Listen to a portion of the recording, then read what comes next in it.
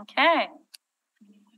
Good morning, everyone who is uh, turning on this day, January 10th, 2023 meeting of the Standing Policy Committee on Public Works.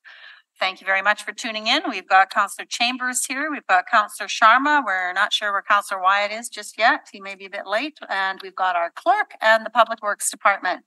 Welcome to people in the gallery and anyone that's viewing. I'm Councillor Lukes from the Waverley West Ward. Before we start the meeting, I would like to make our land and water acknowledgement. Um, I'd like to acknowledge that we're on Treaty One territory, the home of the traditional lands of the Anishinaabe, Innu, and Dakota peoples, and in the national homeland of the Red River Métis. Our drinking water comes from Shoal Lake 40 First Nation in Treaty Three territory. I think we had a very long meeting the last time and probably have to approve minutes from that meeting that was ten hours or more. Councillor Chambers, would you like to make a motion to approve the minutes from moved. the, what date was that? November 29th, twenty twenty-two. November 29th, twenty twenty-two. So moved. Okay, all in favor? Aye. Carried. Did I do this? Okay, to start the meeting. All right, so now we have delegations for today. We have uh two registered delegates and we also, I believe, have uh, a couple councilors who'd like to speak to items that are on the agenda. So I guess we need a motion. Councillor Sharma? Madam Chair, I will move to suspend the rules to hear from Councillor Browaty and Councillor Gilroy. Lovely. All right, all in favor? Aye. Carried.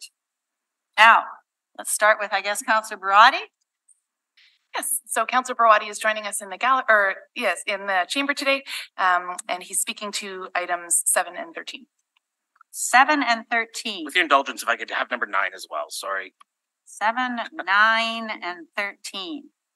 Okay, you're going to talk about speed reduction, you're going to talk more about speed reduction, and thirteen is left turn protected arrow. Perfect, all right. Good Iro- morning. Ironically, I'm gonna be speaking yay speed reduction and boo speed reduction, so. That's because you're uh, confused. There we go. Thank, you. exactly. I'll start actually with number thirteen, uh, left turn protected arrow, southbound Gateway Road at, uh, uh, southbound Gateway at uh, McLeod Avenue. Um, this is a fairly busy section of McLeod Avenue. A number of years ago, a, a passing lane was put in. Um, there is for northbound Gateway at this location, a protected arrow to make a left-hand turn. So in terms of performance of the intersection, those two movements would probably be matched, so it wouldn't uh, be a serious degradation of um, uh, movements when um, there is already that that phase at busier times.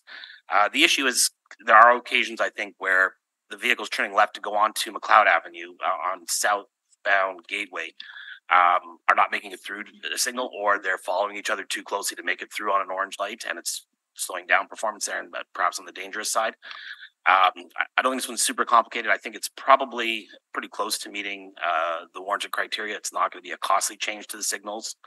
So I'd like uh, that to be considered under number 13. It was brought up by constituents, and uh, I, I do frequent that area. It's right by the, the neighborhood superstore.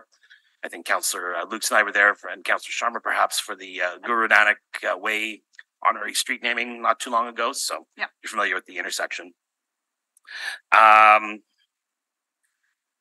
number nine, uh, the speed reduction on Main Street north of Fernbank. Uh, this area of Riverbend has continued to get uh, busier over time. Uh, a number of years ago, um, the section of 70 kilometer an hour area from Kildonan Park Golf Course almost to the city limit was reduced from 70 to 60 when Councillor Sharma was the area councillor. Uh, that far north part of the, the ward now has gotten really quite uh, more populated in recent times. There's a big new apartment block. Uh, we are also waiting right now for um, uh, a change to the traffic signals at, uh, I believe it's Fernbank, uh, where we're going to provide better access to the the trailer park. Um, that's coming along finally now. Thank you to uh, staff for their help with that that work. Um, so I, I do believe this would be supported. Um, again, I prefer to do things by science, but if people are okay with the back of the napkin traffic engineering on that one and can agree to it, I'd be happy to do it that way. But you, you tell me what is uh, appropriate, of course. Uh, what I'm really here to speak about today is number seven: reduce speed, neighborhood pilot speed limit changes.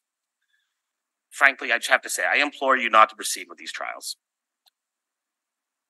Again, I hear from residents and people complain about, you know, speeding on residential streets. In my opinion, the issue isn't the set speed limit; it's imprudent drivers. They're the ones that really need to be addressed. Uh, it's been a long time since I took driver's education. My recollection was the speed limit was the maximum allowable speed under ideal driving conditions. On local residential streets, particularly those uh, at the default speed limit, conditions will often dictate speeds of 20, 30, 40 kilometers an hour. If there's kids playing ball hockey, you stop entirely. If you're passing a cyclist or a pedestrian, you slow down. Around a parked car, slow down. Uh, a bend in the road, snow, ice, all the circumstances, you have to slow down. My understanding was you could be ticketed for doing 40 and a 50 if it's if that's too fast. If there's pedestrians in the roadway, if there's conditions that warrant such. Would 40 kilometers an hour be the absolute end of the world on most local residential streets? Probably not. That's the first time I'm going to tell you that here this morning. I'm going to acknowledge again, probably not. My small little bay, I quite rarely would get up to 40 kilometers an hour or over 40 kilometers an hour. The- in my mind, the issue really comes down to uh, practical legalities and logistics. There are a lot of kilometers traveled in Winnipeg on local collector streets. Without parked cars, snow piled on the sides of driveways, 50 kilometers an hour is a reasonable and prudent speed to be traveling. But these streets don't look or function that different from local non-collector streets. They both have homes. They may have driveways. To me, it seems highly impractical to put up speed limit signs on each street that isn't what the default speed, whatever that default speed is. If we go with 40 or if we go with 50, if all of a sudden a whole bunch of streets are all going to be 30 or 40, putting up speed limit signs to indicate that, wasteful. But I think that's what you'd have to do. How do you choose? Like we have a lot of grid street networks. You know, if you're going into River Heights where there's familiar named streets like uh, Niagara, Oak, Ash, Elm, one of them I think is a snow route and, or a winter route, sorry, and others are not. So today, you may appreciate slightly better road conditions and snow clearing if your if your road is a, a winter a winter route. But going forward, is that going to be the 50 kilometer an hour street and the others are going to be 40 or even 30? That's going to put a lot more traffic, that through traffic, onto the street that is the snow route or the sorry, the winter route or the the higher speed limit street. Are you going to lower them all to 30? That's a lot of traffic. That's to co- cover some pretty serious distances on those local collector streets. Older neighborhoods, you know, that had some of those historic streets with the the cross streets, the one mile road, the two mile road, the four mile road. You're traveling some pretty serious distances on your McLeod avenues, your McIvor avenues, your Bonners, head, you know, Knowles Avenue, uh, in North Kildonan, for example. You're not going to slow all those down to 30 or 40. Sure, the little bay that goes off of them, sure, 40 is fine. But on those other streets where you're traveling some serious distances, 40 kilometers an hour or 30 kilometers an hour is simply just not prudent. So it's the practicalities of all it. I agree. There's some idiot drivers out there.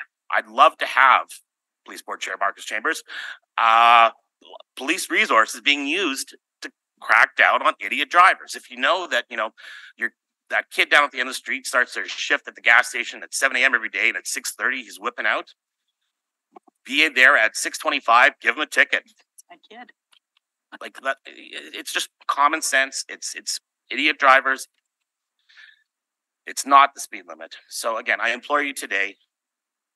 This whole notion of these um, neighborhood uh, blanket speed reductions is not prudent. It's a slippery slope to continue on with this project. So those are my comments. Okay. Counselor Chambers. Thank you for your presentation, Councillor Browaty. You're well aware that I, uh, even as chair of the police board, cannot direct operations of Winnipeg Police Service. Fully aware. I can, uh, you know, just based on, um, public, uh, concern, provide this information to Winnipeg Police Service and, uh, their traffic units and let them know that there is a concern and, and, uh, there's also an expectation in the sense of, uh, traffic laws being enforced. So I, I will share and pass along that information and, and, uh, continue to, to update you as, uh, you know, a- as police are implementing different initiatives around traffic safety. So Appreciate it. Thank you. Do you have any questions, Counselor Sharma? Not at this time. Thank you. Um, okay, well, thank you very much for your comments, Counselor Browaty. You're always uh true to form on your speed reductions and desires. Um, you know, when you go from fifty to forty, that takes eighteen seconds longer. It's not a lot of time when you're driving a vehicle, but it, it does change the dynamics of what's happening on the road. When you go to forty kilometers, you slow down. Um, you know, I could go on about statistics. I could go on about what's happening in cities across Canada, North America, the world.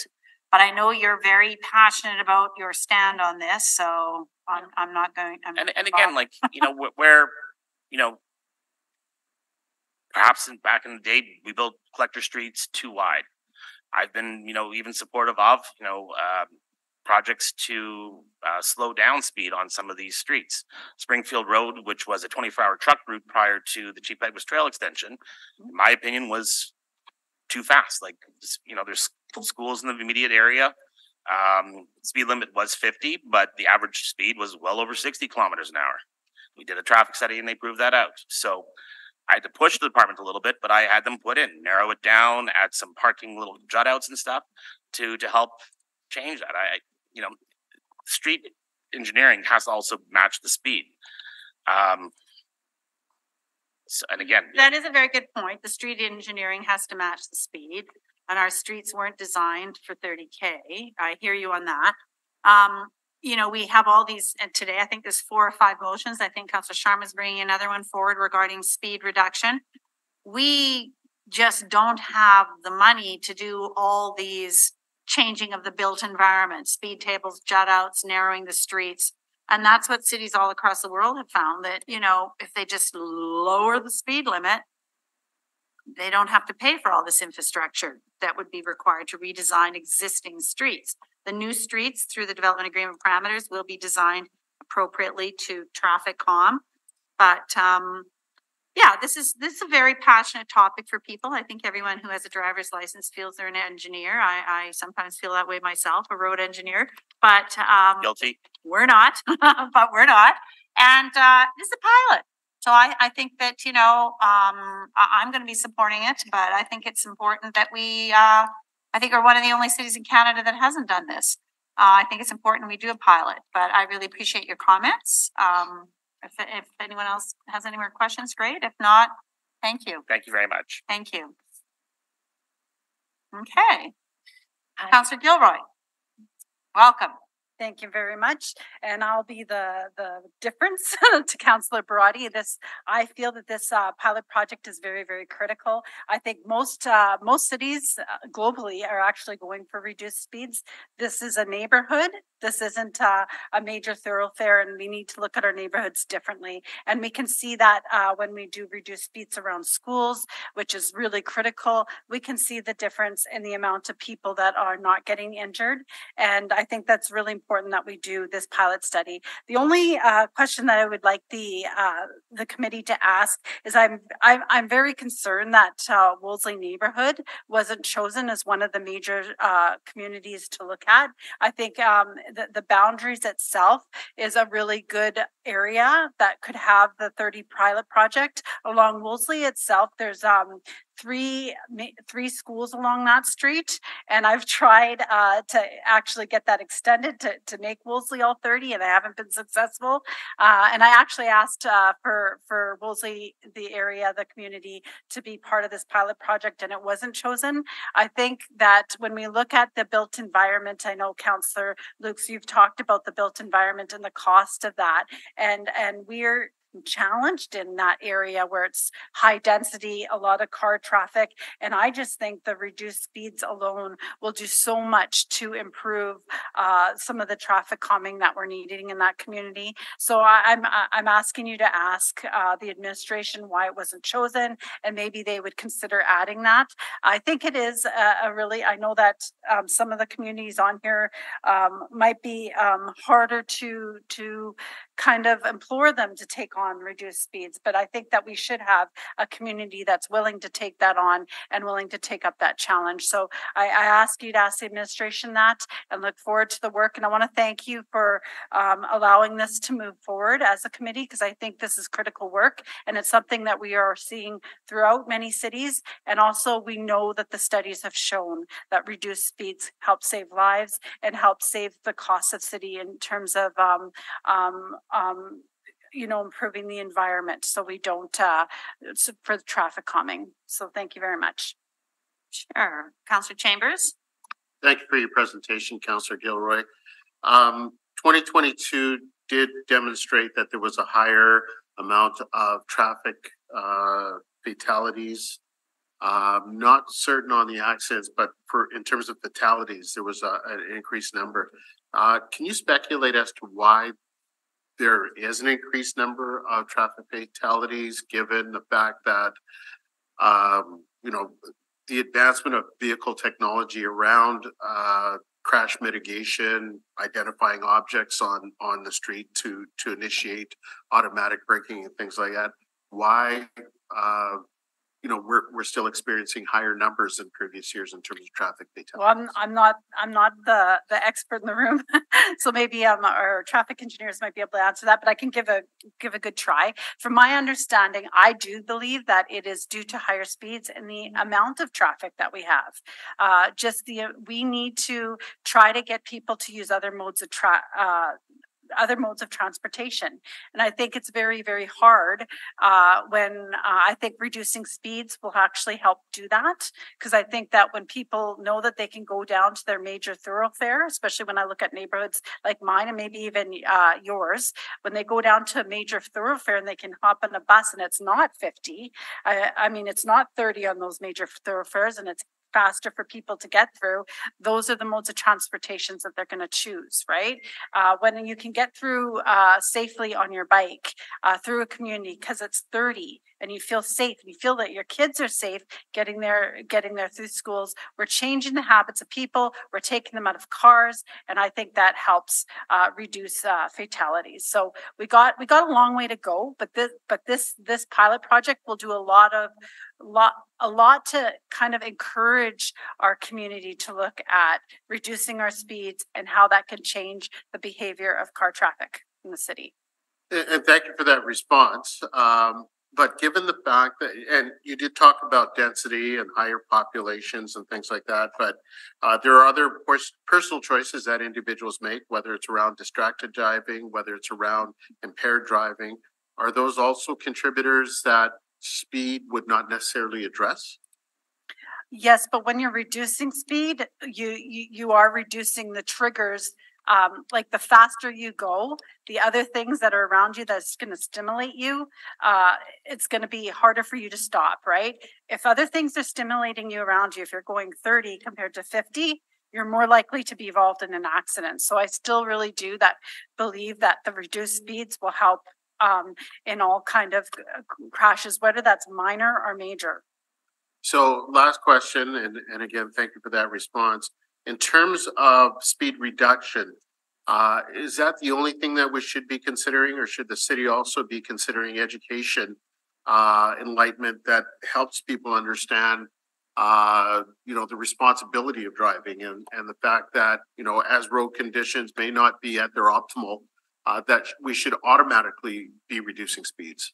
I think we've tried education and it hasn't working, worked. You can see at this committee that we hear lots of counselors calling on uh, traffic mitigations in terms of calming traffic. And I think that we've tried that. Uh, I think what will, what will do, do it is reducing the speeds. So that's why I'm here because I believe that's the answer. So what then would be the response in terms of uh compliance issues where people would then say, uh, you know, if you reduce the speed limit and they're still prone to going uh, you know, fifty, uh, that it becomes more of a cash grab than it is about safety. I'm not worried about that. I never have been.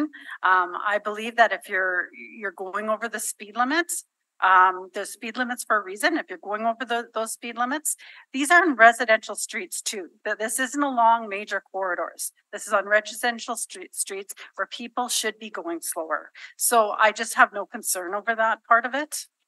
Okay, great. No, I just have to ask the question. Yeah, fair enough. Yeah, Devil's advocate, you know, Yeah. just to get it out there. Yeah. Thank you. thank you. Sure, and, and I guess this is more of a, a did you know, but I, I want to put it out there because I'm sure it'll be addressed today, but most of the, the death and the carnage and the serious accidents are on major corridors and at intersections. They're really not in the residential neighborhoods. um, what study after study is showing, along with speed reduction, it does reduce the impact and damage to a body, a tree, a house. But it does change the quality of life and the livability of a neighborhood. So I think that from what I'm hearing from the public and the ridiculously hundreds and hundreds of plastic signs, please slow down signs, great initiative, that was your initiative, pollute the planet here, but you know what? I think this is much better is to do a, a blanket uh, speed reduction is it, it is really quality of life in neighborhoods because that's really not where the carnage is occurring. It's it's on the major intersections and the and the corridors. So um, you know, I, originally wanted every neighborhood to have some pilots, but we we nixed that, got nixed. So uh, we'll see how this goes. We'll ask the department where they're at on adding another one, but uh, I think they have their budgets in line. But thanks for coming in and speaking for your neighborhood and on behalf of your neighborhood. I know your neighborhood has many, many, many people walking and biking and I would think this would be, you know, if we do proceed, I don't know, the end result of the pilot, you know, a lot of neighborhoods are gonna jump on this and want, want it. So thank Yeah. you. Great. Thank you very much. Yeah. Have a great day. Thank you. Thanks, Councilor Gilroy. All right, now, the next uh delegation that we have up here, I believe, is uh Mr. Ryback. Yes, Kelly Ryback to be heard with items four, six, and seven. So, come on down. I think I saw you up there. Okay, here we go. Thank you, councilors and city clerks. Uh, first, I want to go on to number four, the uh, quarterly, quarterly report on the Active Transportation Advisory Committee, ATAC, ATAC. It's, first, I just find that the report is light, that, you know, for quarterly report, there's not a lot of information there. My other, more so just want to raise concerns about the committee in general, in that it's not listed on winnipeg.ca in the boards, commissions, and committees. So there's no information as to the actual names of the individuals on the report. There's no links to minutes. There's no contact information. It doesn't tell you who the chair is. Whereas every, most other committee and commission and, and board is listed there. But also that information is extremely outdated on most of them. For example, at the Forks North Portage Development, it still lists Paul Jordan as the CEO and the contact, and he's been retired for quite a long time. Mm-hmm. But there's no information about this committee. So when we talk about transparency and accountability, it's, I believe it's lacking here. Secondly, is that members are appointed from six organizations. There isn't an opportunity for anybody to apply for that position. There's no representation from Joe Public. And that's concerning, that it looks like this committee is based on self-interest. And there's no opportunity to voice, uh, unless you apply to, uh, reply to a survey or attend a pop-up. There, there's no opportunity to voice any opinions, concerns, issues, recommendations to this committee as a person in the public. If I wanted to pursue this venue, my only venue is either through this committee or, uh, through my local counselor or any other counselor, chair, etc. So I would hope for just greater transparency and greater communication and more opportunity for the public to have a feedback to this committee. Um, regarding speed zone reduction, as Councilors Sharma and uh, Chambers can attest, I've been very engaged in this on thirty kilometers, going back to the spring of twenty twenty-one. And I've been extremely engaged and very familiar with the Bourkevale community, and I'll speak to that. I want to raise some general awareness and concerns about the overall pilot. I'm not going to debate if the pilots are going to go ahead or not. That's, that's, uh, been done. Um, but full awareness, uh, regarding the mall is what's the outcome of the pilot? What's the data collection and the analysis? And what are you comparing it to pre-pilot?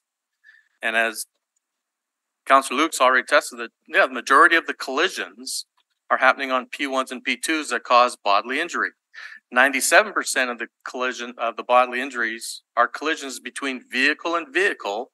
And ninety-five percent of the collisions involving bodily injury or death are at intersections. And I understand you can, for livability, et cetera, that cars can at least go slower. But there have been concerns raised about what are you comparing? What is the data collection?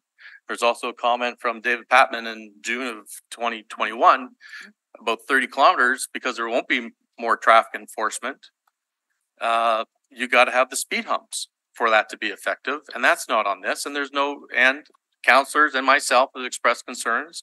The money to put speed humps throughout all the residential streets would be in the tens of millions of dollars and be better invested to be road safety on the P ones and P twos, where the ninety-seven percent of the collisions happen anyways. Uh, but specific to Bourkevale, and again, I have spoken to scores and scores of people on that community, several friends, and I coached hockey in that community. I know those streets.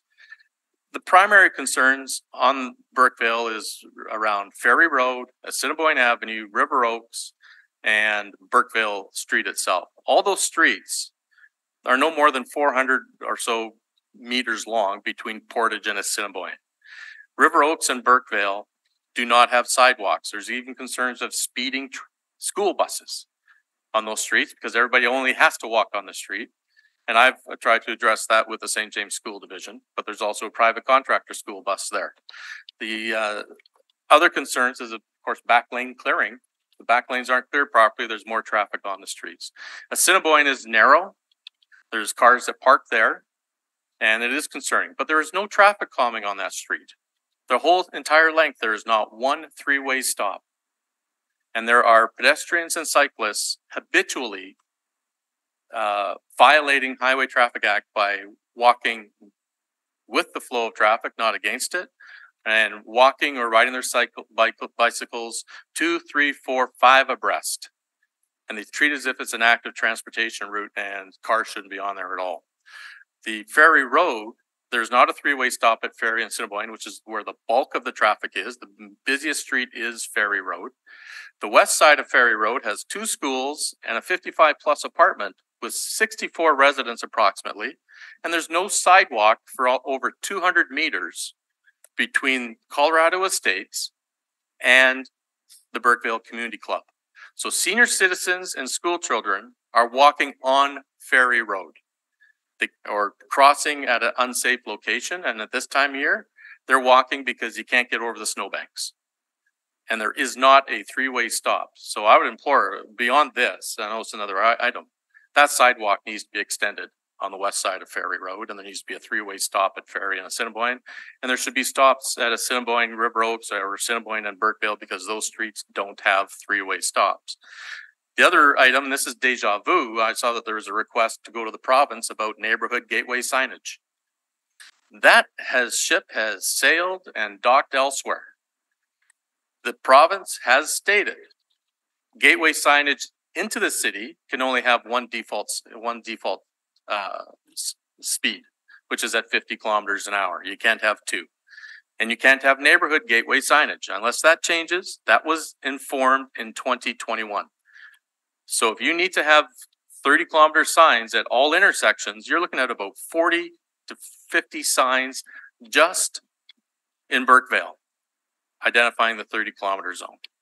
And that's another ex- extraordinary cost throughout the entire city.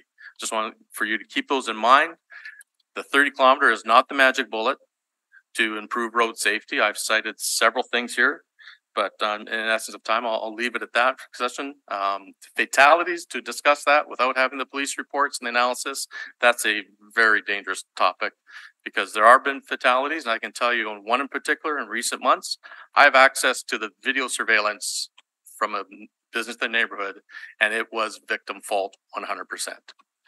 But education is necessary and there's been, uh, you know, lots of comments about that, about how pedestrians and cyclists behave and be, and should be held accountable. Um, sidewalk, snow and ice removal. I'm disappointed that councilors Allard or Dobson, who made the motion and seconded it, we're not here to add more context. So I can only go by uh, what was printed and what the bylaw states. And the bylaw centers around if you throw snow on the street from your own property, you could face a fine. It hasn't been amended in twenty years for this, for the fine amounts. We're not even keeping up with inflation. But that's the extent of the bylaw. So if, to go to the public service for a hundred and eighty day report, what's going to be the outcome? Or is the intent to improve clearing residents to clear public sidewalks along roadways?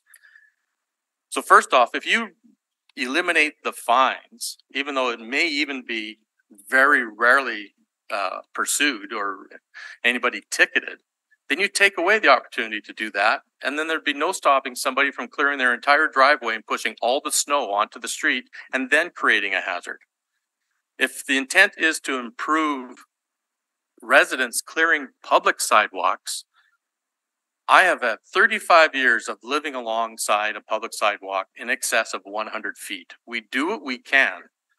But I don't see how this bylaw is going to address to improve that. People who want to clear their public sidewalks do. With all the problems, priorities, and opportunities to improve overall snow removal and ice maintenance.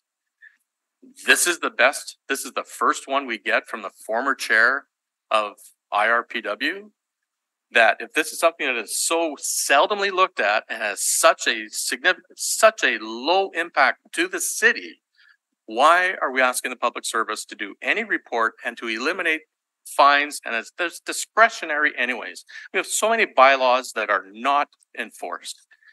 That I'm asking you as a committee, punt this to the curb to alleviate the public service from having to spend any time on it because there is so low value. There's so low impact. We have much better things to do. And I have heard countless times of counselors complaining the reports are incomplete and not on time. And I've heard complaints from the public service that they get their job done if they didn't have to do so many darn reports and the counselors are stuck in the weeds. Please punt this to the curb. There are more important things to do and I can go another hour on that, but I'm done. Thank you. My goodness. Okay, all right. Thank you very much, Mr. Ryback, for your comments. Um, um, are there any comments from the committee members? Questions? No? Just, uh, Councilor just a Sharma? quick comment. Uh, thank you for your presentation today. And yes, uh, you've been here quite frequently over the last few years and, and definitely appreciate your perspective. So thanks for taking the time always. Great. Thank you, counselors. Yeah, uh, I just wanted Oh. to add to, uh, thank you very much for coming and expressing in person your thoughts and opinions. Thank you for actually being bold enough to put your name on the ballot because that's a big step. It's, uh, rather unnerving, um, but you did it and you, I'm sure you gained, well, I know you gained an insight that few have. So Yep. thank you for that. Um, I did want to, maybe it's a did you know on the Active Transportation Advisory Committee. Um, you made a good point. I'll bring it up and, um, uh, with the Public Works Department. I did sit on that committee for six years when it was first formed in two thousand and nine. So, um, yeah, you know what? I know this is a quarterly report. My understanding is they only meet quarterly. So I've spoken to members of the committee since I've been uh, appointed Chair of Public Works. I know that they're going to be looking for a sort of review of their mandate in terms of reference. Um, I'm encouraging that. They're looking forward to that. Um, they want to meet more frequently. I know it takes time from our staff, but I recall when I was sat on the committee, the staff at the time, um, just said what a great perspective and insight the committee brought. It's always good to work with the public. Uh, I hear you when you say that it's not listed publicly or anything. We'll, we'll figure that out. Um, I just wanted to also, a did you know, in regards to stop signs, and this, this might be something that a lot of people in Charleswood and St. James, uh, don't know because, uh, former counselors there seem to have a bit of free reign with the stop signs. That stop signs are not traffic controlling devices, they're wayfinding devices. And I think in Charleswood, a lot of, uh, uh, stop signs, I was just on Chalfont the other, yesterday, and I just, I had to laugh because it was in the middle of nowhere and it had a stop sign. It's not really a tra- it's not a traffic calming device at all. It's a wayfinding device, but regrettably, for whatever reason, a lot of them were installed with that intent, um, which actually can cause more harm than damage. Um, and in regards to the thirty K, um, you know, we can't afford to put sidewalks everywhere. We just, the city can't afford to do that. We can't. So people have to walk somewhere. And I think this is one of the desires behind the lowering speed limits is, is so people can walk more safely. Um, and another thing, um, if you follow this uh, item on the agenda, there have been changes by the province to gateway signage and street signage, so we don't have to put a sign everywhere. Okay. So that's a positive thing. So, yeah, I encourage you to listen to the reports that you spoke to because I think there's some good things coming out of them too. So if I can address two of your comments, um, I, I live on a bay, there's no sidewalks, I grew up on bays, no sidewalks, I get it. Uh, This one on Ferry Road is very problematic, because it is a high volume road of traffic. Mhm. And when you have two schools and a seniors fifty-five plus, Absolutely. and the Bourkevale Community Club, which has a dog park, the lawn bowling, the river. It is linked to an active transportation route. Yeah. To not have a sidewalk, and that is for over two hundred meters. Yeah. Is creating us another dangerous situation. I could show you from my dash cam video of middle school kids walking against traffic on Ferry Road. Well, it sounds like it's a perfect candidate for a sidewalk. So there are select areas that they do put in sidewalks. I'd really encourage you to speak to the counselor, area counselor about it, have them come forward with a motion. Yeah. And get them to study it and, and, you know, all, you've got all the factors that align with a sidewalk. I don't know if there's a ditch there or not. No, it's, it's Grass Boulevard alongside Right. the schoolyard and the community club. And you may have neighbors coming out and protesting it, which I did. Many variables exactly like you're listing, and they didn't want a sidewalk. That's another story. But I would recommend that you get your counselor to bring forward a motion. Well, as I said, I spoke to scores of residents, and they would all love the sidewalk. Okay, well, Uh, respecting and specific to a stop sign at Ferry and Assiniboine. Mhm. So when you're southbound Ferry, that's where the stop sign is before the community club at Right. Assiniboine. right, There is no traffic control coming out of the parking lot, which is partially hidden by the community club building. Mhm. So it could be a blind, somebody barreling through, there's no stopping, and then that doesn't mean the stop sign's gonna make them stop. right. And then coming from the east on Assiniboine, traffic from Assiniboine does not, they just have to slow down to make the turn or they go straight through into the community club, another dangerous situation. Then it also, as you make, as you- that vehicle is going to turn from Assiniboine to go north on Ferry, Mhm. it's crossing the only sidewalk mhm. that leads to the community club and Assiniboine. It crosses the sidewalk, it makes the right turn, and there's parking allowed right at that intersection on Ferry. So it's a very Yeah. dangerous corner, So all, especially with all the active transportation, the designation of the community club. all those variables sound like a perfect case to have an engineering study done um, to see how the safety concerns could be addressed. So in both those issues, I've, I've Well, submitted a to bring 311. Forward. Get, get, your counselor needs to bring a motion forward or you need to work with him to put some pressure on and get some action. but why raise that? The thirty kilometers, not the silver bullet for, for Bourkevale. Yeah, thirty kilometers is not a silver bullet for a hundred things. And for that community, at both ends, there are schools and there's elementary school on the east side. What happened to the amber flashing lights from Expert Electric? Yeah, that's a whole other topic we'll be hearing about shortly, I'm sure. Thank you very Thank much. you. Thank you. Bye-bye. All right, thank you very much, Mr. Ryback. Okay, now we've got our last delegation that I think is on a Zoom and um let's just see here. Is the Zoom up and ready? Yes, it is. And we've got Mr. David Grant to be heard to to one, three, six, seven, eight, nine, and twelve. Hi, um, greetings and thanks for maintaining the delegation option. Uh, I'm pleased, uh, Ms. Lukes, that you uh, listed them by number without reading every topic. That gets tedious. Uh, and I must offer you congratulations. It's good to see your skills put to use here as chair. Uh, it's also good to see the SPC name simplified to Public Works. It struck me as strange that it had the extra words added a while back. Um, anyway, um, and if you give me 20 seconds, I will uh, suggest that the uh, discussion you had with Mr. Ryback on the topic of kids and coming in and out of school and so on and no sidewalk. Um, there was a sad incident a few years ago. My son was on his bike heading south from Acadia on a very busy street. Uh, the kids all walk on the street, even though there's a sidewalk on each side of the street. And uh, one of the kids pushed on him as he went by, and a truck went over his bicycle, but didn't go over him. So we're pleased with that. But it does call into question that uh, uh, control over what's going on, like keeping the kids on the sidewalk, would be would have made a huge difference. And it was uh, very scary for our family to have him come that close to death. Moving on. topic one, I see that transit has come to you with a routing tweak. It's good that they are trying to improve. I see no evidence that transit is dealing with the elephant in the room. The biggest vehicles transit has ever operated, the bendy buses, uh, typically have three or fewer riders on board much of the time on the blue line. so that inherently brings along an, an issue of efficiency and sustainability. But anyway, um, the good thing is that uh, in that business item, there's a mention of TSP. This is the system that magically gives green lights to buses. I'm excited to see that TSP may soon be here. This is big. It saves, saves time for transit and for emergency vehicles. It's been many years since I explained to council the merits of TSP.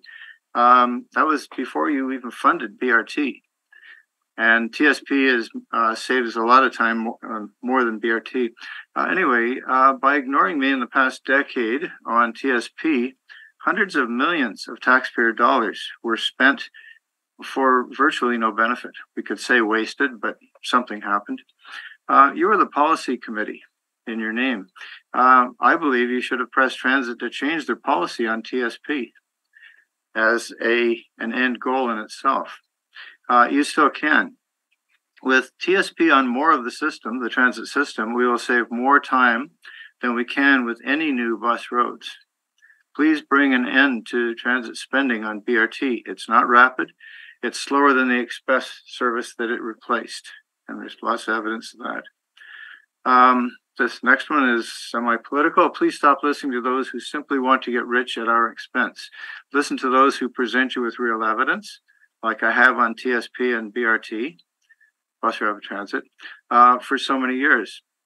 Uh, I would re- recall if the managers to whom I presented obvious solutions as their professional engineer had ignored me as City Hall has, they would those persons would have faced dire consequences from the company. On topic three, by denying resident and user input, the output of the Transit Advisory Committee is not what it should be. Why are advocates not given voice and votes at these meetings? There is a very active transit group in the city. Some of us speak in delegation, but often when it's too late to have input into decisions. This SPC invites bikers to speak on their committee. They have to have a permanent seat on the Active Transportation Committee. Why not bus riders? Timely inclusion of the expertise outside of City Hall could have saved the city hundreds of millions of taxpayer dollars. So I would suggest that uh, that group, which has spoken here before, uh, be invited. Uh, topic eight nervous residents on a busy street. Backing onto a street can be intimidating. Many of my large corporate employers have advised all employees to back into their parking spots and back into driveways. Safety professionals have supported this option for several decades. I spent years with a driveway, my driveway, on a divided 80 kilometer highway, which was be- between two blind curves. This is more scary, in my opinion, than any Winnipeg driveway. Backing into my driveway made a huge improvement in my comfort level. Please communicate this to your voters on the, ones who live on busy streets, that that is a way of feeling much more comfortable about living on a street like Grassy. Topic seven, the streets with reduced speeds but no signage. I thank Jeff for making important points. We know that the highway traffic already requires drivers to slow down when there's an issue, like a person playing or walking in or near a street. I've also heard that one of the goals of this program is to bring the rules in without following national signage standards. I would suggest that this is inherently unfair. Will the plan for signage take into account the careful drivers who are new to the area, whose attention is focused on the sun in their eyes or on a traffic situation? Redundant signage, that is, you get your primary sign when they enter the area, and then another one uh, a block later that reminds them, and left side signage and so on uh, that would reduce the unintended violation of these new and unusual speed limits. And really, that is the intended goal of the program: is to get people to not go faster than they should, and that, I think, requires that everybody entering the zone be made well aware. So I would say uh, big bright signs both sides, and then another one a block later. Moving on. Topic nine, speed reduction on Main Street. Notice I'm not fighting against speed reductions because whatever the sign is, it's what I'll do uh, if the, the situation warrants. Uh, I'm reminded of the situation on Highway 7 South entering Winnipeg. The limit was 90 until you entered the city, and the city used a small 70 sign on one side. Winnipeg police issued a zillion dollars in fines for those who did not see that little sign. City Hall refused to use national signage standards. And I must give compliments to the city lately, and it may be because of uh, Dave uh, Patman, but we have wonderful uh, double signage at uh, major uh, speed reductions across the city. So that's wonderful. That's a national standard that we uh, violated for many years. Uh, anyway, eventually Manitoba erected 70 signage on their side of the line on Highway 7. All drivers knew the limit and there were no more tickets to issue. Will the new 60 be so well signed that no tickets will be needed? That's my hope. Anyway, moving on. Uh, topic 12. This gets uh, a bit amusing, but uh, concern for Alma, Almy residents for traffic. In my several decades of success as a P.Eng., I wrote and consulted on many standards. I believe that standards are important and it's important to respect these rules. And just because people are complaining is not a reason to uh, violate the standard. We, we have one for when a speed bump's needed and when a four-way stop's needed. Um, you should also rem- remember that speed bumps do not solve unhappiness between residents and drivers. Trucks are noisier after they go one of these annoying features, the speed bumps. The bumps calm no one. Like four-way stops, they waste quite a bit of fuel and increase the city's carbon footprint. Why not think outside the box on this one? Close the street to at one end or in the middle. Suddenly, all those NIMBYs will have to go somewhere else. The people who the, the NIMBYs will not want, uh, seem to not want outside uh, drivers on their street. If you close the street, then only the locals and the deliveries will be on the street. I'm reminded of the time the city a concrete island in the middle of Argy Street. Bikes could pass easily, but only locals used the road. I would suggest a concrete island in the middle of Almy, halfway down, and then bikes can still use it. And uh, but consult with the fire department first on how it affects their uh, drive time. Anyway, it's a better solution than more speed bumps because it solves the problem of that very long straight street uh, becoming a thoroughfare. Um, the legalizing of snow shoveling, congratulations on making this change. Um, if a bylaw isn't enforced much, um, then uh, uh, it seems strange that it's still there. Have we actually been issuing tickets for people shoveling sidewalks or shoveling their driveways out to the bottom? Uh, I'm reminded that years ago I'd asked council to create a report on the need and benefit expected from every bylaw with which Winni- residents can be punished and fined. This uh, one on snow shoveling is just one of those. And I don't see that anybody's ever done that. But uh, anyway, thank you very much for your time. That's it. Okay. All right. Well, as always, Mr. Grant, you bring forward uh, many perspectives on items and I, you know, we all appreciate that. Um, are there any questions from the committee members? Any questions at all? No, no questions. Okay, so thank you very much, Mr. Grant. Thank Um, you. Till we meet again. Thank you. Okay. Okay, have a good day. Okay, now, no other delegations here? Perfect, okay. This is a short day of delegations on Public Works Committee, so um, now we'll get to reports. Report number one is route change for transit blue line in St. Norbert. All right, Morning, committee members. I have Bjorn Radstrom here, our manager of planning and schedules, who will provide the verbal report. Good morning, everyone. So this was a route change that came before this committee in September, um, and it was approved. This was the change to implement a transit priority U-turn at, uh, Pembina Highway and De l'Église or Rue des Trappistes, um, in order for the buses to no longer continue operating on Landry, Lemay, and De l'Église.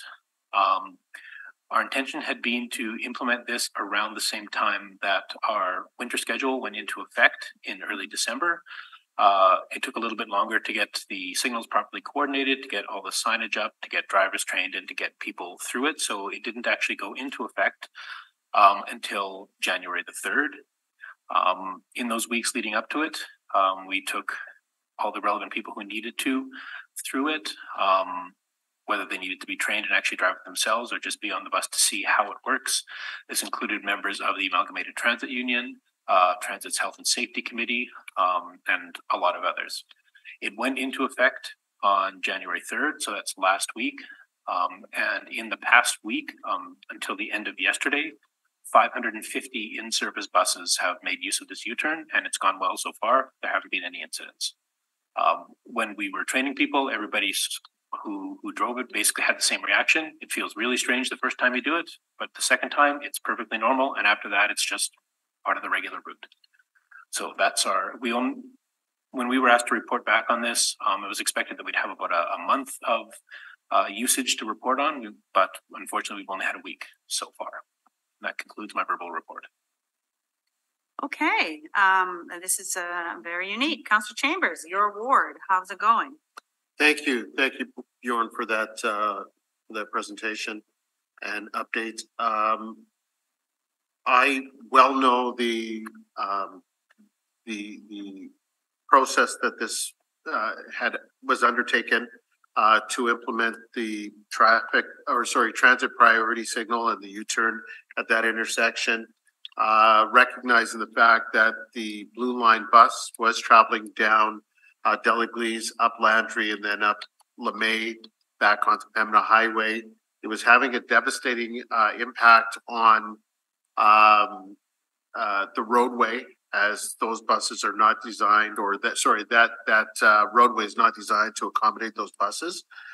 Uh, but I'm now getting emails in terms of what the, uh, replacement or alternate process would be, uh, as a feeder uh, for the blue line and whether or not uh, the uh, the bus that is intended to go through that neighborhood to provide access to the blue line when that will be implemented and the frequency by which it will be implemented to ensure that residents in that area can have access to the blue line.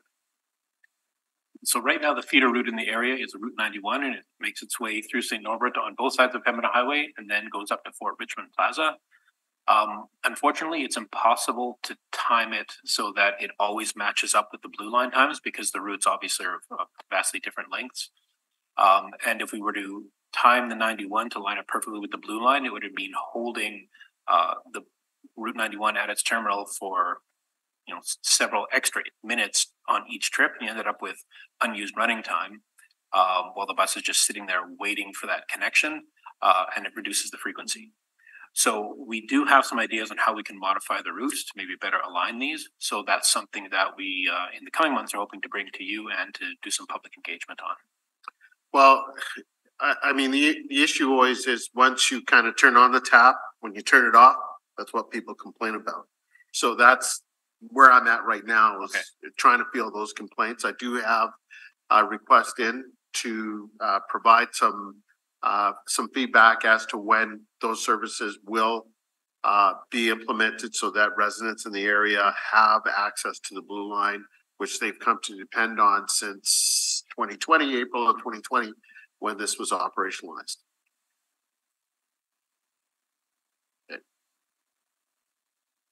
Okay. So are there any other routes like this in the city that have this uh priority, transit priority signal for U-turning installed? No, this is the only one. Um, and in fact, there were, there's only two others in Canada. Uh, there's one in, I'm blanking on, I think it's Kitchener Waterloo. Um, and that was the, the model that we followed when we implemented it. And since then, Calgary has a similar one. Uh, as you all know, the unique thing about this is that it's a U-turn from the right-hand lane uh, on a transit priority signal. Kitchener Waterloo has an identical one and Calgary. Since we started implementing this, has also implemented one, except it's a left turn instead of a U-turn, but again, out of the right-hand lane. So now there is precedent in three cities for this, but this is the only one in Winnipeg. So um that's interesting. I- i- Is Why, why is that? Like, I would think with transit, there'd be other opportunities for this because, you know, you don't wanna, you don't wanna backtrack, but yet, It, this is a solution that works only when all the right criteria are met. And I don't want to say it's a unique situation, but in this particular location, it worked because you've got um, a very wide street, multiple lanes on each side, plus a boulevard in the middle, and it makes it so it's not a tight U-turn at all. It's actually a very comfortable U-turn. The cross street as well is wide enough that it gives enough uh, gives enough room to make a maneuver, and also there's good visibility for the bus operators in all directions as they're making the turn. Um, I did, there may be other contexts where something like this, we wish it could work, right, but the criteria doesn't necessarily allow us to implement this. Now that we know this works though, we'll definitely keep our eyes open as we're developing the master plan implementation to see, you know, is this a possibility for someplace else? And if it is, we would come forward with that recommendation. But again, it, it really has to make sense in the specific context. okay. Um, did you say you made a little video on it? We did make a video, um, and it's on our website. It's to educate, uh, the public or anybody, uh, anybody who's interested. Sure. Um, we also wanted to make sure that other transit systems know about it. The video that Kitchener Waterloo produced is how we found out about theirs. So now other people can find out that we're doing this and come to us with questions. So yeah, it's it's on our website and there's actually a button on our homepage right now. I think it says St. Norbert U-turn, maybe Blue Line U-turn. I can't recall exactly. That's cool. And really, the reason was the residents didn't want it going through the neighborhood. That was the reason. Th- They didn't want to go into the neighborhood. Again, one of the streets in particular was a local street, so it was narrower than the standard streets that we operate on. But the biggest challenge was that as a local street, the pavement isn't as thick. Yes. And especially where the buses made the turn, Yeah. uh, they were, to be blunt, they were chewing up the pavement. I know. Um, so now we don't have that issue. We're making this turn on a street that's actually designed for heavy vehicles. Perfect. Okay. All right. Any other questions? Okay. Would you like to make a motion? I'll move to accept this as information. Great. All right. All in favor? I, Carried. uh, point of order, I'd like to move a motion to, uh, excuse Counselor Wyatt from this meeting for family emergency. Perfect. All right. All in favor? I, Carried. Okay. Report number two, installation of SIM cards on existing bus network devices. We have our manager of IT here, Kirk Cumming, will present his verbal report. Okay. i mentioned, this is a verbal report on the feasibility, cost, and other issues related to the installation of SIMs on existing bus network devices to activate cellular data for emergency backup communications. Um, and so, uh, what I would say about this is that our current bus radios, uh, they're an old model of analog radio. Uh, and they're not equipped with capability of accepting a SIM card. Uh, SIM card only works if you have a cellular modem in your device. Uh, and the uh, these older Motorola analog radios that we have do not have cellular modem in them. Uh, and so with our current radios and radio network, there's no ability to augment their communications uh, by adding SIM card. Um, now it is possible to uh, to purchase uh, cellular based radio systems; those do exist, um, and this is some certainly uh, one of the options that we're looking at in the full replacement of our bus radio network, um, which is a, a federally funded uh, ICIP project, and uh, and that's certainly you know one of the options that we're looking at. Okay. Any questions? Counselor Chambers? yeah, thank you for that, this information. So the purpose of the SIM cards is for radio communication exclusively? So the purpose of a SIM card is for cellular communications. What a SIM card is, is it's essentially a little identifier that says who you are, basically your phone number. Yeah. Uh, when you're participating in the cellular network. Yeah, so would this be like five G connectivity, uh, current or LTE or? Uh, it, it would be whatever you're subscribed for, essentially. Yeah. Okay. The SIM card works, uh, regardless of which, um, service you're subscribed for with your provider. So if that's the case, is there a opportunity to link the fare boxes as well to the SIM card for uh, smart devices to be used for payment? Um, that's uh, certainly the case. We do have uh, cellular data communications enabled on the buses, um, and that is one of the things that we're pursuing is using that cellular communication that does exist to um, improve the service of the existing fare card system and also enable future uh, fare payment technologies in the future. And so the current request here in terms of the installation for radio devices for emergency purposes, that would be a cost lo- uh, far less than a full implementation of Sims to uh, to to again utilize the technology for the fare boxes and the use of of smartphones and smartwatches and and and uh, debit cards to be used uh, to pay fares. Uh, so what I would say is there's sort of three aspects to that. There's the there's the communication part of things, like the the data transmission part of things, and that's something that's enabled already. There is the uh, connection of those different systems to that communication network, and that's a an ongoing project with different uh, parts of our system. So, um, you know, for example, we've connected the uh, bus location information through that data network already. Um, and other systems will follow as we as we integrate those systems together with that communication network. And then the third thing is voice communication. Um, and that's sort of the part that I was trying to address most directly because it seemed to be the the the spirit of the motion was was about communication. Um, and that requires a different type of radio um, to what we have already. Okay, so uh, just going back quickly to something you touched upon as well in terms of the bus location. Uh, i- i- is that part of this sim um, technology right now, or is it GPS that's used to identify bus locations that is then transmitted in terms of data to smartphones as people are watching? Uh, kind of like the way Uber works when you're uh, ordering an Uber. Uh, is is there currently that connectivity and real-time information that's provided that a person can track actually track a bus uh, from stop to stop? Uh, so that uh, data is uh, flowing at this at this time. Um, we are currently transitioning between some uh, cell providers, and that's uh, that's meant that some of that is incomplete at the moment, but it's it's in the progress. Um, and the uh, ability to view that is something that is that is upcoming um, that we're working on at this time.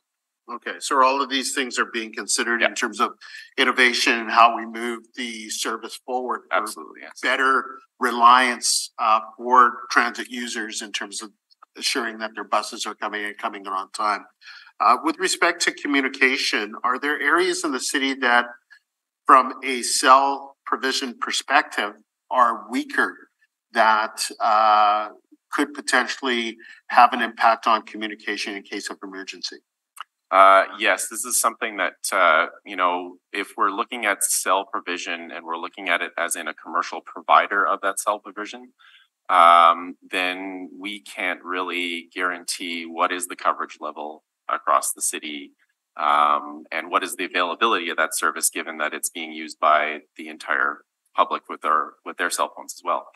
Um, and so there are definitely I can't really speak to what exactly the coverage level is of the different providers across the city, but it's certainly something that is potentially an issue. Thank you. Okay, any questions, Councillor Sharma? Um, I just have a question, and maybe it's not for you. Thank you for your information. It maybe is more for the director. Could you just update us on currently what um transit operators have at their access to use for emergency calls? Because this was sort of the the motivation behind the motion. I think things have evolved since the motion, so. Sure, we, um, the radios that they have on the buses are in fact emergency type radios as well. They have an emergency button which allows them to communicate with our control center for direct access, the control center to have direct access to nine one one. We also have the emergency signal signs on the buses that alert the public uh, to an issue. And then we have an, another emergency feature that is confidential to our operators. When we recognized that there was some uh, I guess we'll call dead spots, uh, within the city. Um, Rick uh, Young, our manager of operations, working with the Workplace Safety and Health Committee, put in place a process to allow operators that, that are operating in those known spots to utilize cell phones. So we provide them with cell phones, uh, as an alternative to the radio. Um, and Rick could speak as to when that went into effect. I just can't recall the date. but Went into effect October twenty eighth, twenty twenty two. And to date, no employee has picked up one of those cell phones. Picked up as in came to get it, to Came use to get it? it to use it while they were operating bus, yes. And, but it, they're all aware of the areas that have the dead zones. I'm sure it's in Bridgwater, but Yes, those can vary though, just so people understand, like, uh, we identified certain areas that uh, sometimes give us weak signals, so we put that out in an operations bulletin, so every bus operator was aware Right. of it. right, But you also have to understand, if you have a large vehicle, just pull up beside your bus, that could give you a dead zone. right. Because it blocks the signal, so we put in uh measures like move your bus a foot. Mhm, mhm. Uh, if you know you're going to a dead zone and you think you could be uh potential incident. Call control before you get into that dead zone, uh, and so forth, and then we, like I said, we supply the cell phones. If Sure, they're interested to okay. use it. Okay, so yeah, that, that was sort of the spirit of the motion was they felt, um, there was some sort of inability to communicate, but it sounds like you've provided ability to communicate through cell phone, they have the radios, and we're waiting for the upgrades. Yes, Yes. and, and that went through our Workplace Safety and Health Committee as well as the province participated in that, correct, Rick? Yeah. Yes. So it's, it's an acceptable mitig- acceptable mitigation measure. Okay, great. Okay, so thank you very much. Uh, can we have a motion to receive the report as information, or the verbal report, I guess, as information? Counselor Chambers, all in favor? I, Carried. Okay, item number three, the Transit Advisory Committee, uh, membership, and this is, um, for the Transit Advisory Committee. Okay. So, um, if someone would like to speak to this? Rick, Rick Young will, uh, speak to this, our manager of operations. Okay. under the terms of reference for the TAC, uh, Transit Advisory Committee, uh, every member has to be approved through this committee, so that's the reason for this report. Also in this report, we have to change one of the, uh, references, so I'll just start right there. So this report informs of the change of the tax terms of reference to the Standing Capol- Policy Committee on Infrastructure Renewal and Public Works be renamed the Standing Policy Committee on Public Works as per council motion on November 9th, twenty twenty-two. The report also includes the following recommendations on memberships. That Councillor Janice Lukes replace Councillor Matt Allard and be appointed the Chair of the Transit Advisory Committee for a term ending December thirty-first, twenty twenty-four. That Rick Young, Manager of Operations, Winnipeg Transit, be reappointed for a term ending December thirty-first, twenty twenty-four that Nelson Mauer, Winnipeg Association of the Public Service Officers, be reappointed for a term ending December thirty-first, twenty twenty-four. That Crystal Van Den Busch, Coordinator, Winnipeg Community for Safety, be reappointed for a term ending December thirty-first, twenty twenty-four. That Dave Delal, Superintendent, Winnipeg Police Service, be reappointed for a term ending December thirty-first, twenty twenty-four that Teresa Platt, Manager of Client Service, Winnipeg Transit, be reappointed for a term ending December thirty-first, twenty twenty-four. And that the proper offices of the city be authorized to do all the things necessary to implement the intent of the foregoing. And that concludes my report. Okay, so just a quick question on that. Um, as you know, we had one committee meeting in December, which was very good, brought me up to speed. Um, and I know there is a new ATU president.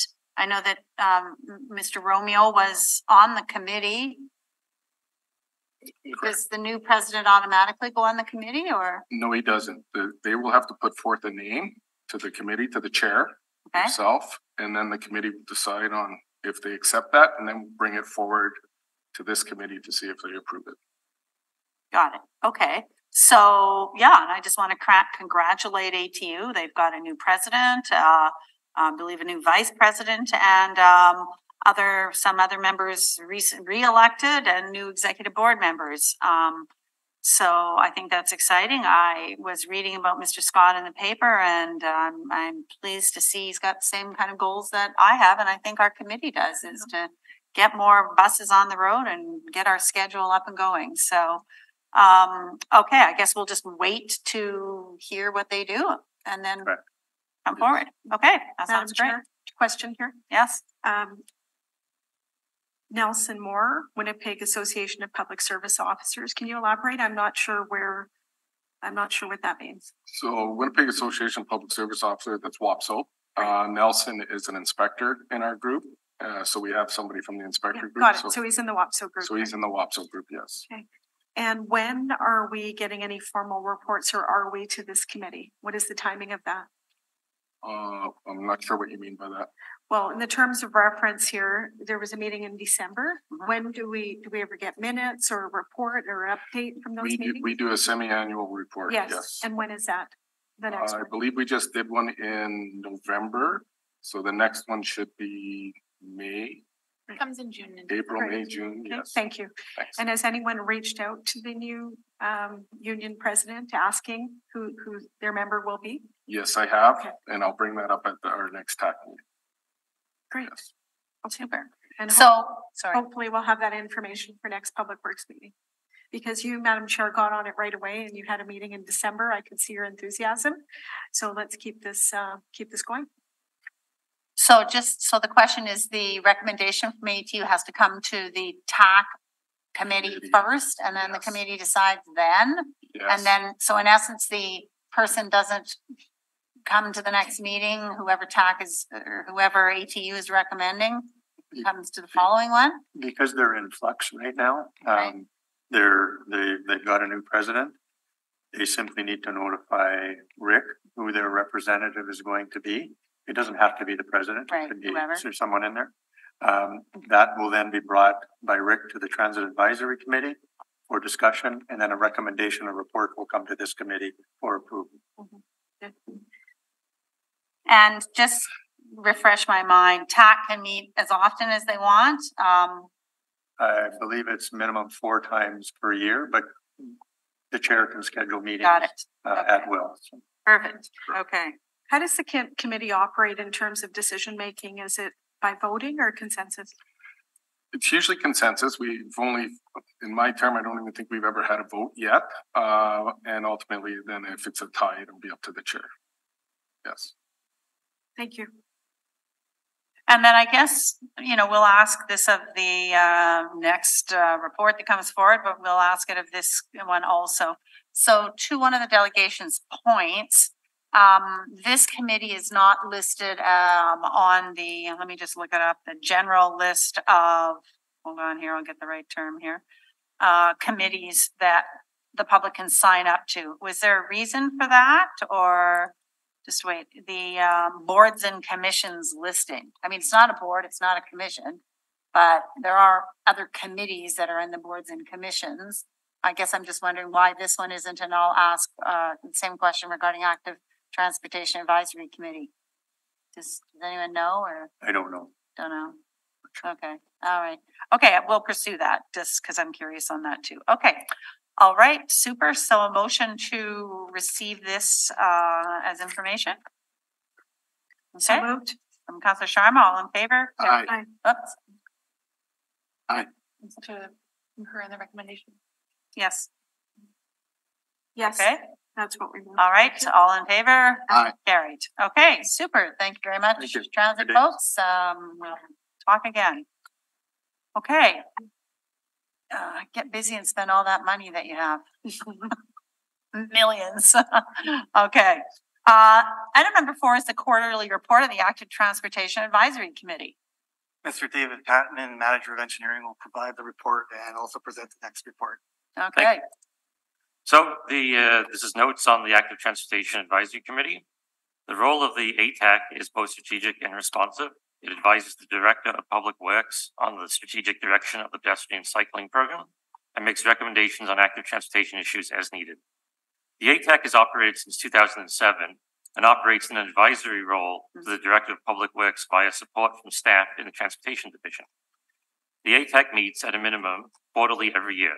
Additional meetings may be scheduled at the request of members of ATAC or department staff to discuss time-sensitive projects. Generally, meetings are informal, decisions are made by consensus, and meeting minutes include actions that are reported on in subsequent meetings. Topics at the September meeting which were discussed included ensuring accessible access for parking and loading is being considered in the, uh, the design of protected bike lanes. Uh, confirming that high needs areas are included as a prioritization factor in the ongoing work on the pedestrian cycling strategies document update. Considering some network additions in route planning studies that are underway. And a request for Transportation Division staff to report back at the next ATAC meeting on the inclusion of active transportation facilities in several ongoing and upcoming road renewal projects. So that concludes the report on the ATAC.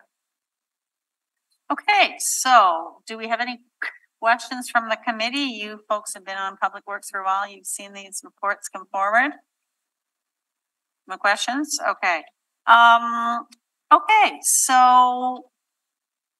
I, I, I'm actually working with, uh, some members on the committee. I think that they're wanting to update their terms of reference and, uh, you know, I'm sure they'll be doing that and reporting back to you. So, okay, all right. Um, can I have a motion on this report, please? So moved. Okay, to Receive as information. information, all, right, sorry. Okay, all in favor? Aye. Carried. Okay, item number five. Restricted parking, west side of Polydor Road. That's correct. Yes. Uh, so the public service was asked to take a look at this location to make, uh, to consider making potential changes to the parking. The uh, parking regulations on the west side of Polydor Road, south of Nova Vista Drive, were reviewed by the public service, and no changes are recommended at this time, as operations and safety performance are currently adequate. The location does not meet the criteria outlined in the city's technical guidelines and practices for stopping prohibitions at the corner of two non-regional streets. Severe safety concerns were not demonstrated in the collision history or site visit observations and are unlikely to occur in the future due to site characteristics. The corner clearance at this location is adequate for larger vehicles. Water and waste has not communicated any access issues for refuse vehicles, and school buses are not routed southbound on Polydor Road. The horizontal curves on Polydor Road begin approximately thirty-five meters south of Nova Vista Drive and do not impact the intersection. The sign and mark crosswalk at this location is on the east leg of Nova Vista Drive and not on Polydor Road. Parking restrictions on Polydor Road are not required for sightlines at the crosswalk. And that concludes the review of this location and the report. Okay, uh, Counselor Chambers, do you have any questions on this? Yes. Yes, and thank you for the, uh, the reports. Uh, this had come to me based on a, a few residents in the area that, uh, had expressed concerns, especially during, uh, the summer months where, or spring and summer months where, uh, the school that is adjacent to this area, uh, École Julie Riel, uh, is also a soccer field. Uh, and there are multiple, multiple cars that are usually parked uh, as parents are, are there with their kids uh, for, for soccer. As you're turning off a P2, uh, which is Nova Vista onto Polydor, uh, you're essentially turning into oncoming traffic as cars are parked on the west side of Polydor. And uh, they're expressing that it is an unsafe uh, situation because they're they're turning basically right into oncoming traffic.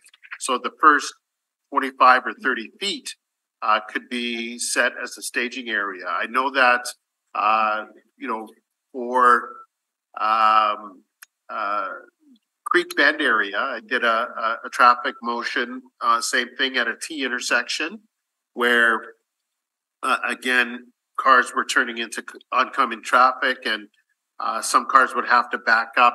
There was no staging area for cars uh, to stage as they were turning onto Creek Bend Road and cars were exiting. So this is a similar situation to that, uh, recognizing that Hawkins, which is the continuation of, of, of, uh, Polydor across, um, across Nova Vista is, is different than the T intersection that I, I alluded to on Creek Bend Road.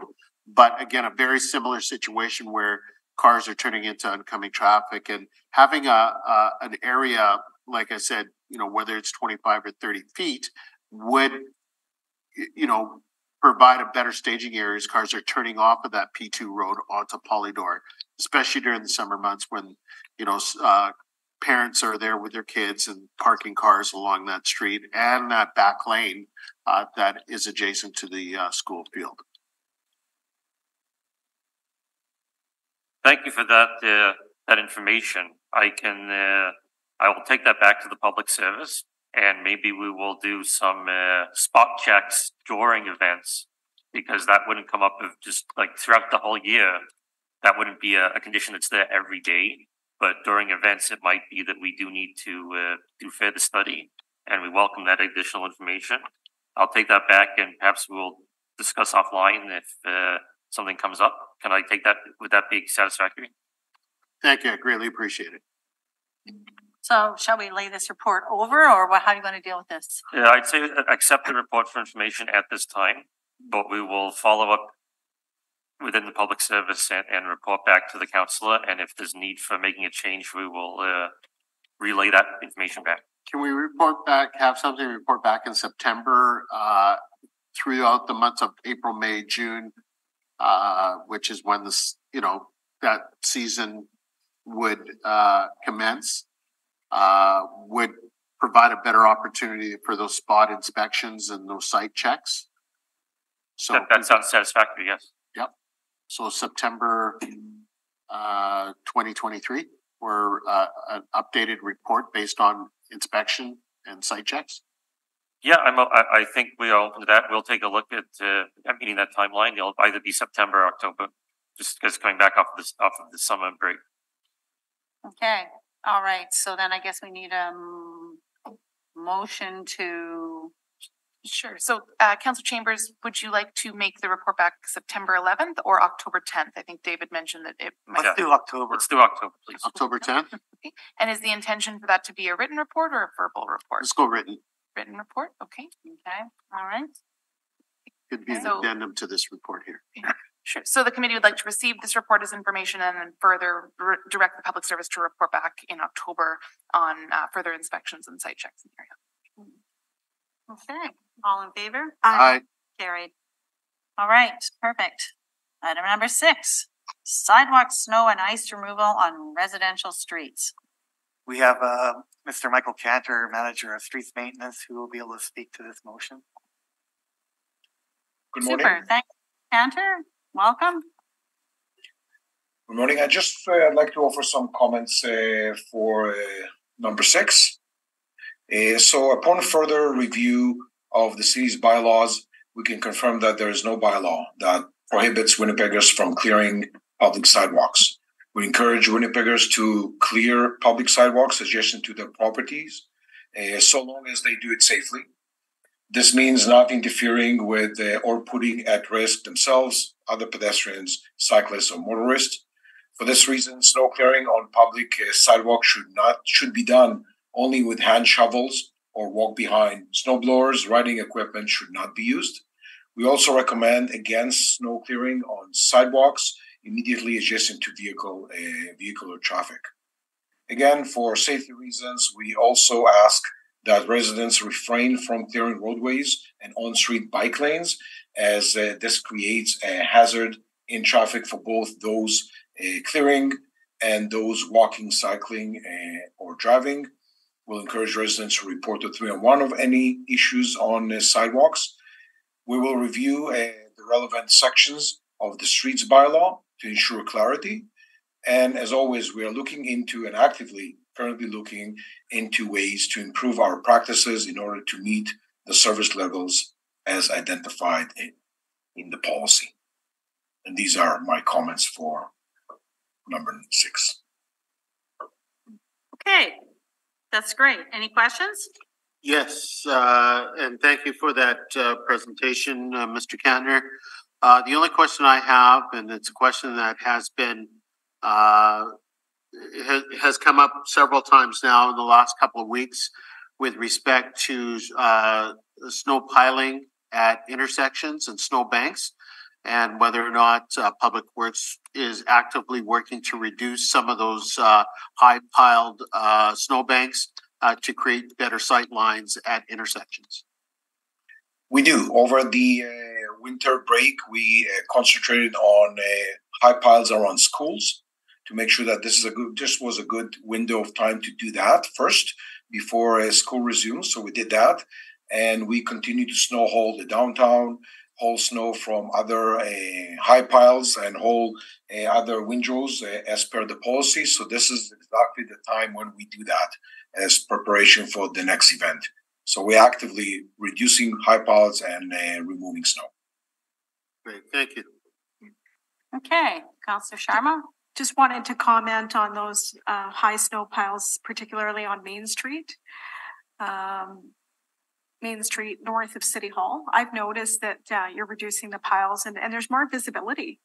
Uh, while you're, whether you're driving a car or a pedestrian and it's it's being done really well right now, so thank you for that. Okay.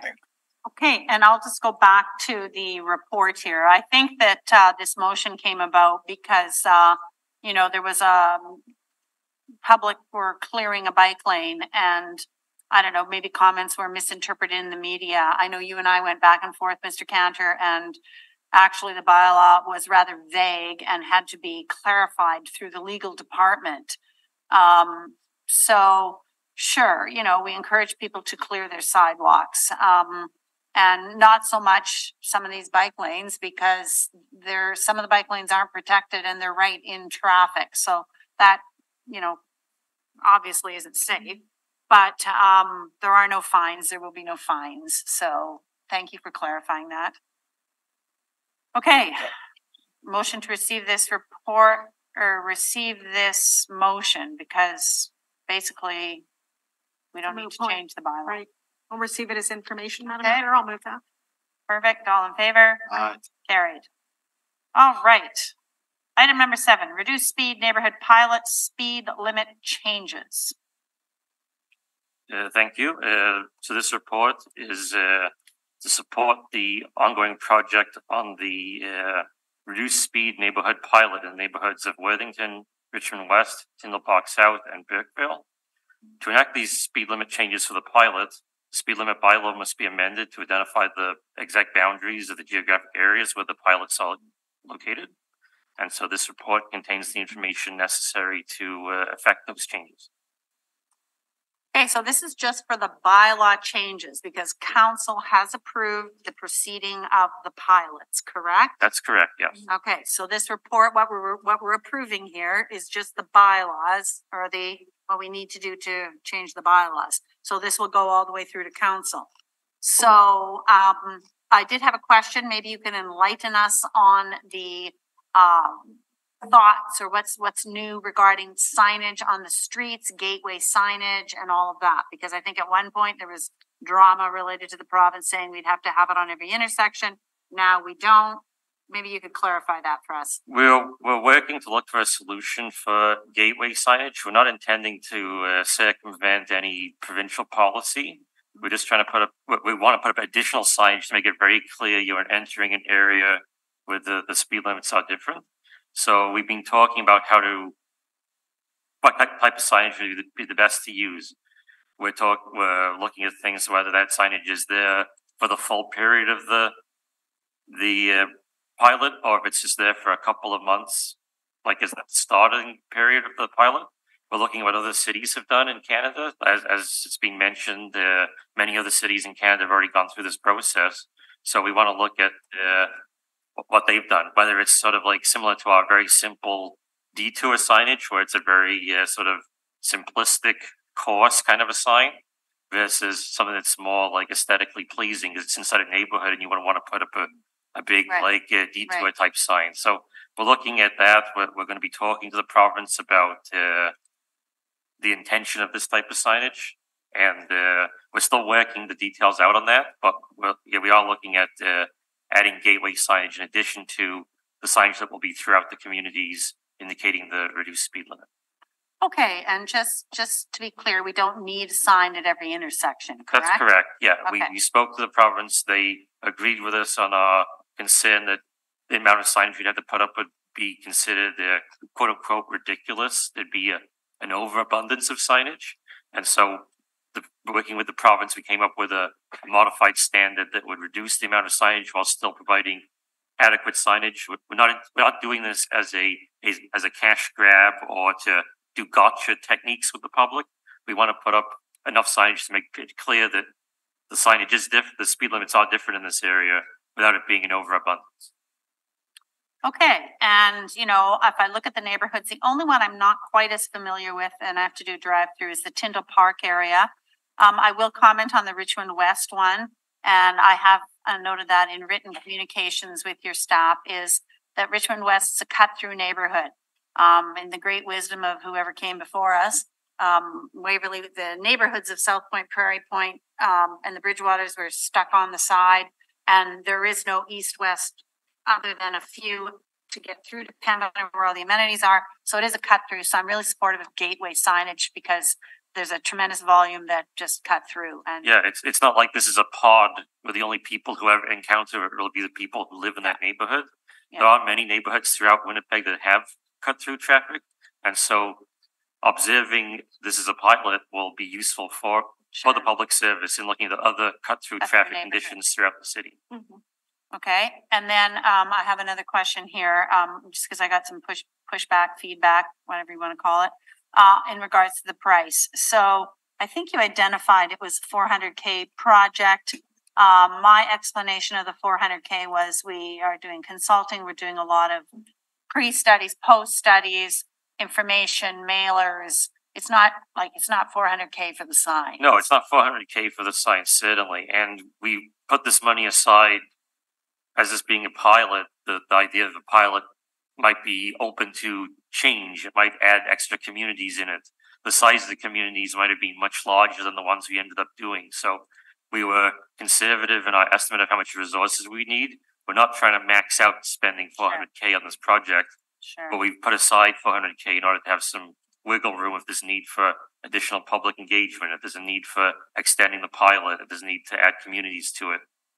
We can, we built that into the, uh, the budget for this. Okay, so to that point, add communities, we heard Councillor Gilroy here today, um, asking to have, uh, her community included in this. So what are your comments on that? At this time, I'd be reluctant about adding any communities to the pilot, but that's not to say that we can't do additional communities following this round of four. We think that the city will eventually sort of, it won't be after we do the pilot, we're gonna introduce this across the whole city in one go. It'll likely be, and with the support of council, that we'll probably go in a neighborhood by neighborhood fashion, roll these out over time. So there may be uh the potential to get on the the next round of these, if we can think of it that way. I think that we we the in in in talking with the public service staff working on this, they have uh, quite a lot of work to do to get these four going. Perhaps uh there's something we can revisit once the the the four are up and running, but I think that right now the project is is well sized to work with four locations. So it's not that we don't want to look at more locations, but the project is uh, is good the way it is, and so we we thank any any council who has additional ones to bring to our attention, and we'll we'll get those into our queue rather than saying, yeah, please let's put them on the on the to do list right away. So last question then, okay? So, so we're doing this pilot, we're gonna look at the results at the end. Let's talk about the end, okay? So then what happens? Like, what happens? Does a report come forward that says, I don't know, like, what's, what's your understanding of the next steps? And I, I- I recognize that I may be, uh, I'm not trying to speak out of turn. I'm trying to speculate about where I think this will go uh, on, on behalf of my, uh, of the public service. I think what we will do is we will, uh, consider how well the pilot went. And that'll give us sort of three options. Either we say, we learned, uh, that this is not gonna work in Winnipeg and that was a, a learning opportunity. We're not gonna proceed with it. That we need further study. We need to keep doing it on a, on a slow process and maybe do it on a request basis, something like, uh, it's not gonna work for every community, but we can study individual communities and, and roll it out like that. Or it's a, it's a true success. Everything has gone really well with it. Uh, we see the the advantages far outweigh the disadvantages. And we want to roll this out and we come up with a plan for what that rollout looks like. You So- just gave us all the options. Mm-hmm. What is the timing of that report? Uh, that report is, is part of the end completion of this project. Uh, we're aiming, we're, we're trying to run this project on, on a twelve month basis Okay, with the report at the end of it. so next year. Yeah, Next spring, or no, Fall. you'll probably I take think by, by months spring, after. yeah. Yeah. Spring or early summer. Okay. Okay, super. Any other questions? I think this is fantastic. So, uh, kind of a motion to move this, uh, report? So moved. Counselor Sharma, all in favor? Aye. Carried.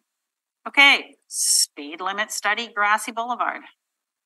all right, so we have a request in here for, uh, taking a look at the, uh, the speed limit in operations on Grassie Boulevard. The public service will, uh, take on this work. We're gonna request a, uh, hundred and eighty days to complete this study. Okay, so, so Grassie Boulevard, okay. Um, so Grassie Boulevard is a collector, right? Is it a collector? Is it a regional or a collector? I believe it's a collector, but it's unusual. It does have driveways on I it. know. It's sort of like, uh, like you never, you usually don't want to see driveways on a road like that, I but know. this one has that. So, uh, it's sort of a atypical. Yeah. So that's why I'm, we're very open to taking a look at it. Does this analysis and study fall into the same category as what I was calling you about Uh, earlier? Or is this different? Possibly, but probably not. This is Uh, the different. locations that we were talking about are more sort of the edge conditions of the city. We are going from outside the city, Yes. moving into So the this city. is different, yeah. This is different because it- it- although you are mov- changing conditions from, say, uh, more rural to city, it's, it's slightly different. So we could consider it with that, that project that we discussed, that, that I believe a motion is coming for, Mhm. but, uh, it may or may not be included on that. So I'm gonna reserve, uh, saying it's a definite yes for that project and, and maybe look at Sure. other locations for that project. Is hundred and eighty days enough for this? Yes. Sorry, you're requesting an extension of time of hundred and eighty days? We're requesting hundred and eighty days to look at it and report back. Right. Well, this, Well- this is, sorry. The motion. Oh, sorry, Oh, Council. Yeah. So the, the original direction from the committee came in April. That's what? I'm saying. I, I, we, we could, we concur with, we're accepting the hundred and eighty days that's in the motion. That's, uh, we're not gonna, not gonna change it to something else. But They this is already an did extension. though. Yeah, th- so this is an extension of time. Okay. Yeah. Sorry. No, that's okay. Yeah. Okay. So this is rural going to urban. That's the stretch you're looking at, right? Yes. Yeah. Okay. Okay. Okay, um. So how much more time? Sorry, David, I missed that. We're gonna ask for an additional hundred and eighty Yeah, days. okay, And if we get it done before that, we'll, we'll bring it in. okay. So I'll move an extension, Madam Chair, of hundred and eighty days. Okay, all in favor? Aye. Carried. So we have another one here. Yes, Can- uh, report Can number we nine. deal with this one at the end because it ties into something I'm speaking to? Sure, you want to move it to after oh. item number fourteen? Yes. We Sure. We don't need a motion for that. just Okay, Consensus, thank you. item number ten, sound attenu- attenuation Uh, Paradise, on yeah. Paradise Drive. Yeah, uh, thank you. So, uh, the, uh, the public service was requested to investigate, uh, do a noise analysis at this location. Okay. So, okay, And, uh, what we, what we discovered by doing the noise analysis is that, uh, it comes in at uh, fifty-nine point five decibels, which is below the, uh, the threshold of sixty-five decibels where we normally do mitigation. So for this reason, we're not recommending any, uh, new sound attenuation measures in this location at this time. okay, so just sort of help me understand why it took so long to get to this decision. Yeah, Read the report, but Yeah, I, I- I'd say there's, there's two factors. We've had a lot of turnover in the staff that, uh, are responsible for this within the transportation division. That was unfortunate. And, uh, the other part was we were having operational issues with the equipment that we used. It was very, uh, it's, it's become, it's reaching the end of its life. And there's been a lot of significant issues with the, uh, the batteries and the, uh, the power supplies. And so, uh, we would do the analysis, we go back and collect the data and it would be, data would be, uh, spotty or incomplete. We'd have to go back and, and redo it. Lacking the staff to prioritize this, it, it fell between the cracks and we apologize for that. Okay, So I don't know if any residents are listening to this or not. Um, I, I- I mean, I'm familiar with this area. The street called Car- Carlotta, everything west of Carlotta has, not everything, um, a section of it has an awful lot of trees planted in it. There's this very deep setback that, um, the city, the residents could work together to plant trees. And, um, I know that the federal government has given us seven million dollars in trees. I know that we did have some drama on Roblin Boulevard with missing or chopped down trees. So I would encourage the residents to reach out to their counselor and to do a big tree plantation like in the area of Carlotta. Counselor Chambers.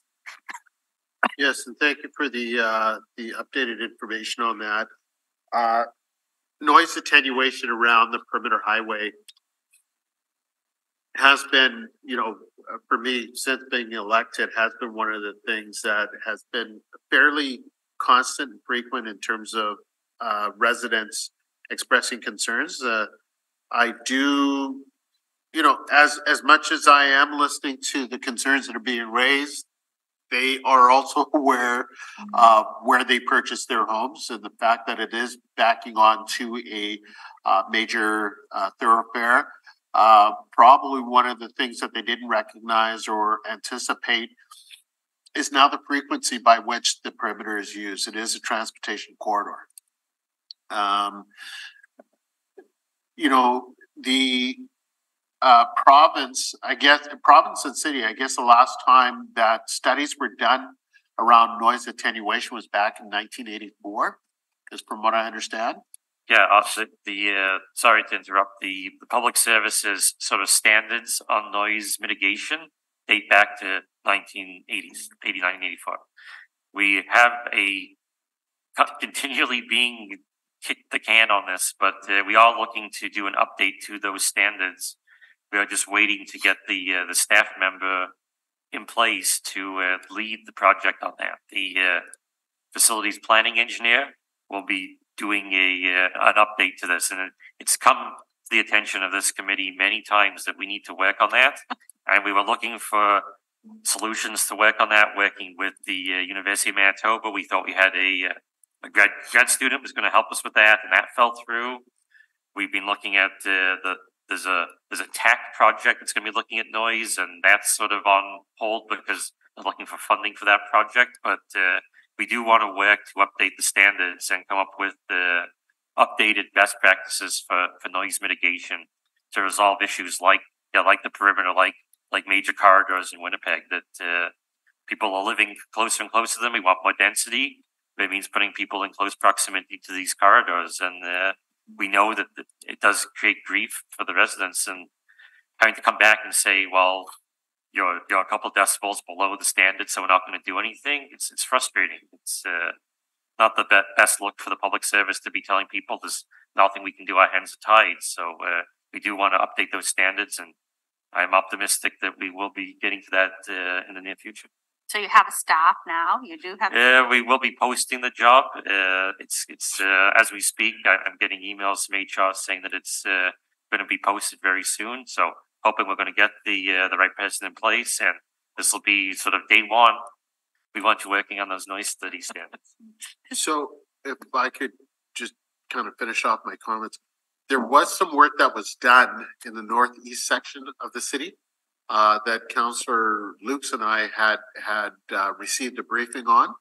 Um, and, uh, I- guess it's around, uh, the area of East St. Paul between Henderson Highway and fifty-nine Highway, where the new bridge was constructed and uh, there was some noise concerns that were raised by residents on both sides of the perimeter highway in East St. Paul and in North Kildonan. So I don't know if you've had an opportunity to see any of the work that, that, any of that work that has been done, uh, or if it's been presented to the city at all.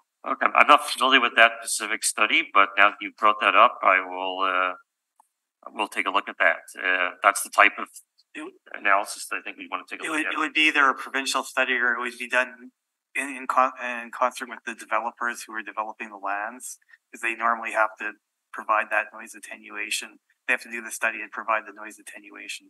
Yeah. But yeah, we're not specifically aware of that one. Okay, and so sixty-five decibels, I mean, at one point in time was an acceptable allotment in terms of noise mitigation. But again, uh, the sixty-five decibels is one part of it. If it's every twenty minutes or every half hour or on the hour. But again, what residents are saying is that the frequency has increased where sixty-five decibels is is a continuous thing throughout, you know, and again, if they're in their backyards and and trying to hold a conversation, um, the equivalent would be trying to have a conversation in a powder room bathroom with a Shop-Vac going. It's, you know, very loud and and and, you know, very frustrating. So again, if there are staff that are dedicated to working on an updated uh noise study with a recommendation on reducing the amount of uh decibels that would be allowable, and then how that factors into new building codes for noise attenuation walls or berms or what have you, and or or trees in terms of green infrastructure. I do note that in terms of on the South Perimeter Highway, in terms of some of the berms that are there, uh, that there are hydro lines that are buried underneath, so the root system would impact on those. Uh, so trying to find a better solution for residents as, again, it's not as much in terms of the high volume, or sorry, the, the, the, the decibel amount of noise, but the frequency of noise based on the fact that we are now a, uh, transportation corridor. and There's a lot more heavy trucks and machinery that are moving back and forth. Thank you for those comments. Definitely, we, we support that. Uh, we also see other issues that have arisen since, uh, since the nineteen eighties. Uh, you have, often you have noise walls where you have to cut holes through them to allow for, for access through for, for AT routes. And so that was never maybe a, a, a consideration when those noise walls were created. The other issue is, uh, that we see is, uh, where you've got to go back and install a noise wall where there wasn't one, where when the original construction happened, there was a noise problem, but over time the traffic has grown, the city's matured. How do you go and implement something where, say, the building standards didn't didn't consider the noise to the level it's got to? So it's definitely a, a lot of considerations there, a lot of things that we need to take into account.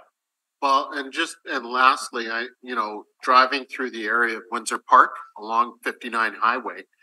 You know, at one point, and I can remember back, this is before my club soda days, uh, of the eighties.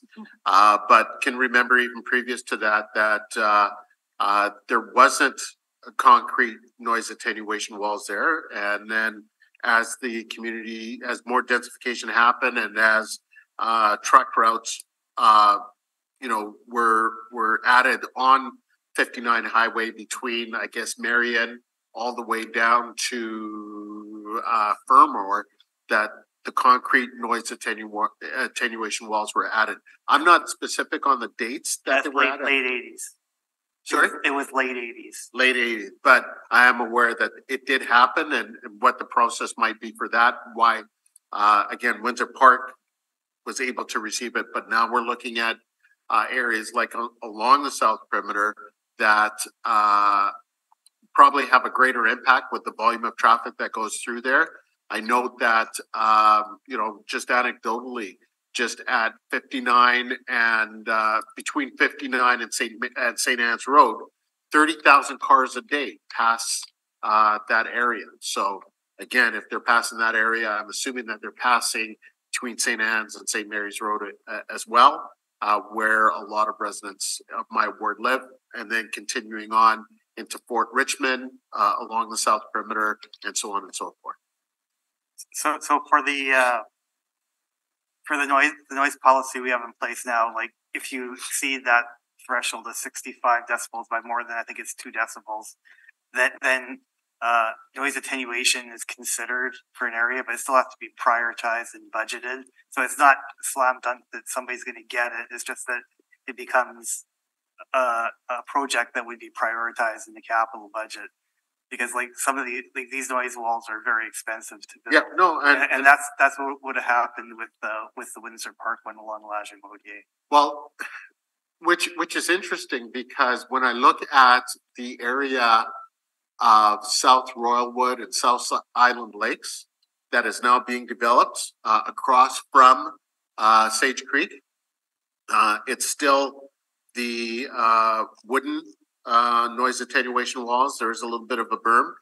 But again, it's just an extension of that Windsor Park area uh, that has the concrete uh, noise attenuation walls. I, I you know, it, it struck me as kind of odd that it's it's essentially the same strip of, of, of roadway, 59 highway, yet one has concrete attenuation walls, the other now newer area is is done with with uh, wood fencing.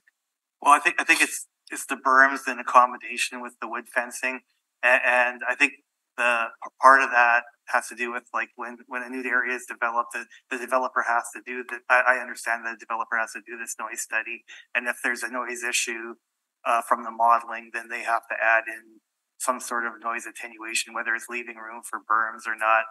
And in the case of Lagimodière, there probably there wasn't enough room for berms and ditches, so that's why you had the con- concrete walls, which is a really high expense. The ones along Chief Peguis Trail between uh, Henderson and um, and Lagimodière, they're actually plastic walls as part of the P three that was And done there. Saskatchewan too.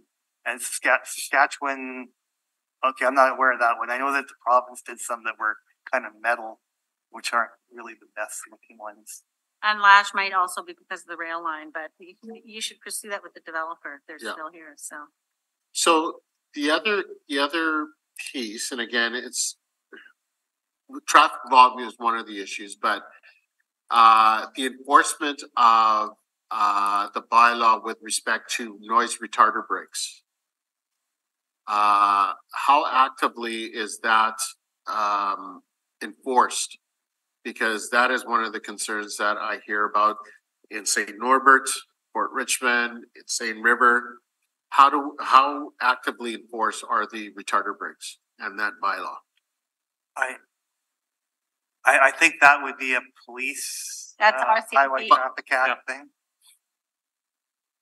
Okay, but it. I, I think though, definitely though, we, as part of the, uh, the work we will do on this, we'll want to do a, like a, a check with the stakeholders like the police, like the, the province on how effective those measures are, because we see those signs too that says, uh, retarded brakes, uh, are not allowed within the city of Winnipeg, that type of thing. Definitely would be a consideration as part of this, because yeah, they do create that sort of, that, uh, that sort of very distracting bang, bang, bang noise as, as those brakes, uh, applied.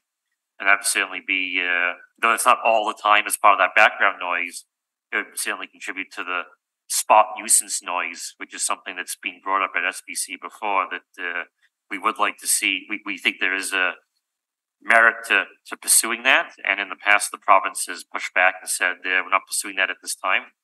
It may be something now that we have somebody who's gonna be working on this noise study work as part of the, the twen- sort of the, the daily work, perhaps there'll be more of an opportunity to have the province consider that and work that into the, uh, the standards that, uh, are there for noise.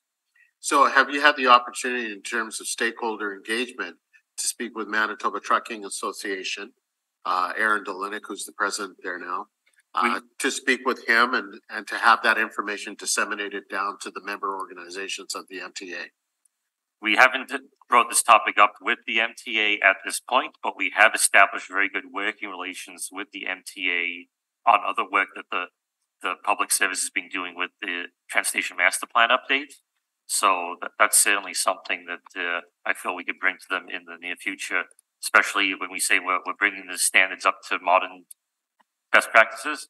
I think that would certainly be part of the conversation on that with, uh, a noise creator like the, uh, like the MTA's, uh, vehicles are. But they probably don't mean to do that. Probably they would not be encouraging the, the drivers to be creating a nuisance to the public. But perhaps a reminder or some education could, could be one of the recommendations coming out of, of continued work with them. Well, I mean, education is an important part. And, um, you know, once that education has been imparted, then the responsibility and onus is on those companies and on those drivers to adhere to the bylaw. Yeah, yeah. Thank you. And one, one thing, Mr. Patman, but I think in the motion, the original motion about this noise was, you know, um, when your guy starts, when your new person starts, the World Health Organization has set out really good parameters, you know, forty decibels only at night, seventy or eighty decibels for an hour at a time, like Yes, yeah, the standards have really changed since World the- Health Organization has done a lot of work on this. Okay, that's great. So super. Um, so I guess what we'll do is we'll, this is the tree on Paradise Bay or the sound on Paradise Bay. Uh, did we have a motion to receive it as information? Motion to receive it as information, please, Counselor Sharma? So moved. Okay, all in favor? Aye. Uh, okay. This is really interesting. Next one, number eleven. Yes, uh, number eleven, traffic study, Kenaston Common Drive and Kenaston Boulevard. So the, uh, the public service is taking a look at this location. And, uh, it's our recommendation that we, uh, we move forward with making the uh, modification to the signals at this location. And we'll use existing resources to, uh, put this into effect. Which is very similar to what uh Counselor, well, same, same, but different, item number thirteen, what Counselor uh, Browaty brought forward. So I just want to ask you on this, okay? I'm thrilled, I'm great. Resident brought it forward to me, complained about it. I said, look, I got great staff, let's see what we, what they can do. So this is all great that, you know, resident comes forward, we bring forward this re- request, you do it, oh my goodness, we need it, it meets criteria very briefly, how are you proactively going out there and doing these things? Or are we just kind of complaint basis at this point? Uh, it's not entirely complaint basis, but it, the complaint basis plays more of a role than we'd like. Uh, the, the public service is continually reviewing corridors, taking a look at signals. We have a lot of staff that are out in the field looking and seeing what's going on and they report back. And it's, uh, it is reviewed by the, uh, the public service on an ongoing basis. But perhaps a bit more, say, uh, transparency on how that works might be, uh, appropriate or to have sort of a, uh, a, a request line for inquiries to come in special, specifically on this, uh, on these matters. Like this, this one, I guess, is just a really high volume, high everything intersection. And I guess, you know, and it, it had bothered me and I didn't call it in. And so resident pokes me to call it in and make the request. And I just, the the proactiveness just kind of, I know we've got staffing challenges and we want to keep the budget where the budget is and all of that. But, um, okay, well, you know what? This is great. Um, someone would like to move the report, please? Item number eleven? So moved. All in favor? Carried. Item number twelve, twa- traffic calming. Here's another traffic calming one. This Okay. was laid over last month, Madam Chair, by the area counselor.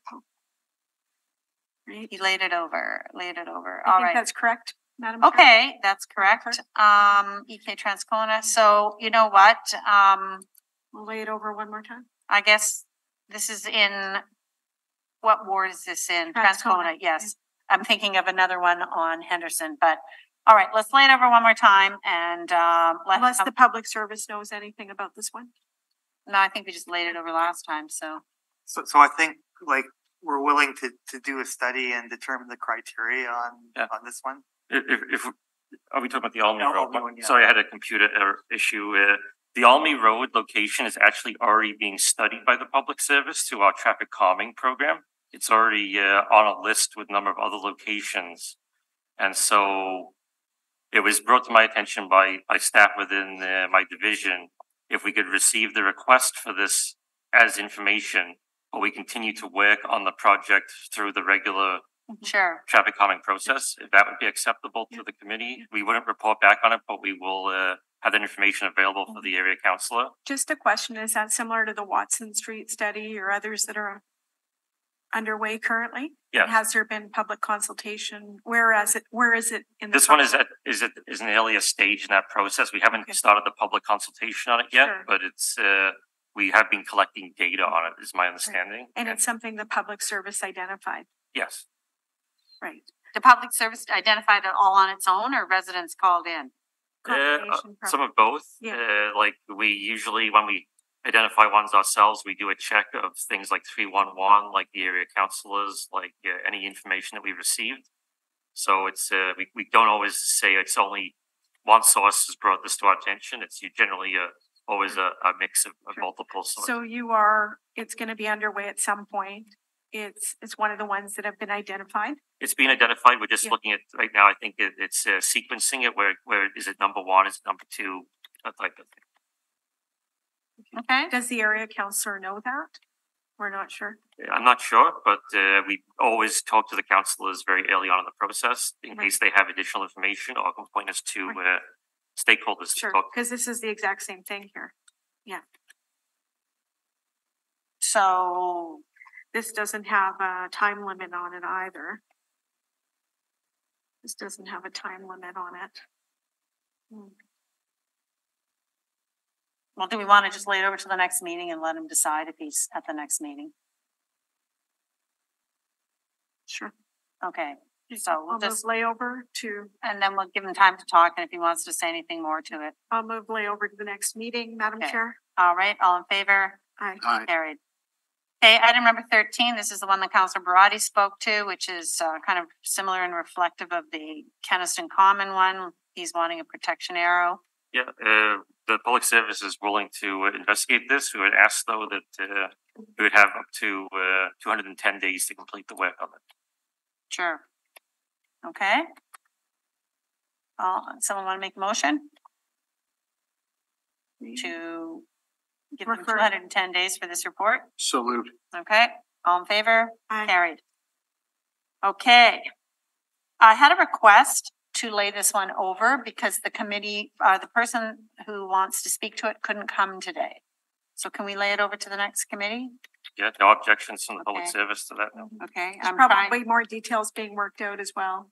yeah, I'm not sure what WSP is doing, but they just requested, I don't know if. she- Yeah, I I understand that this one is sort of in midway through the process and we wanted to bring it to the standing policy committee to help us make a decision on which avenue to pursue, whether we uh, continue down one road or another. Right, Right. No So, uh, yeah, I believe that there's no issue in, in like, okay, Sure. all right. And last they presented here, we were giving them more time to Mhm. work out some alternate, alternative, um, ideas to make it Mhm. work. Mhm. So I'll move layover, Madam Chair, to the next Public Works meeting. Okay, all right, all in favor? Aye. Carried, okay. I have a new business item.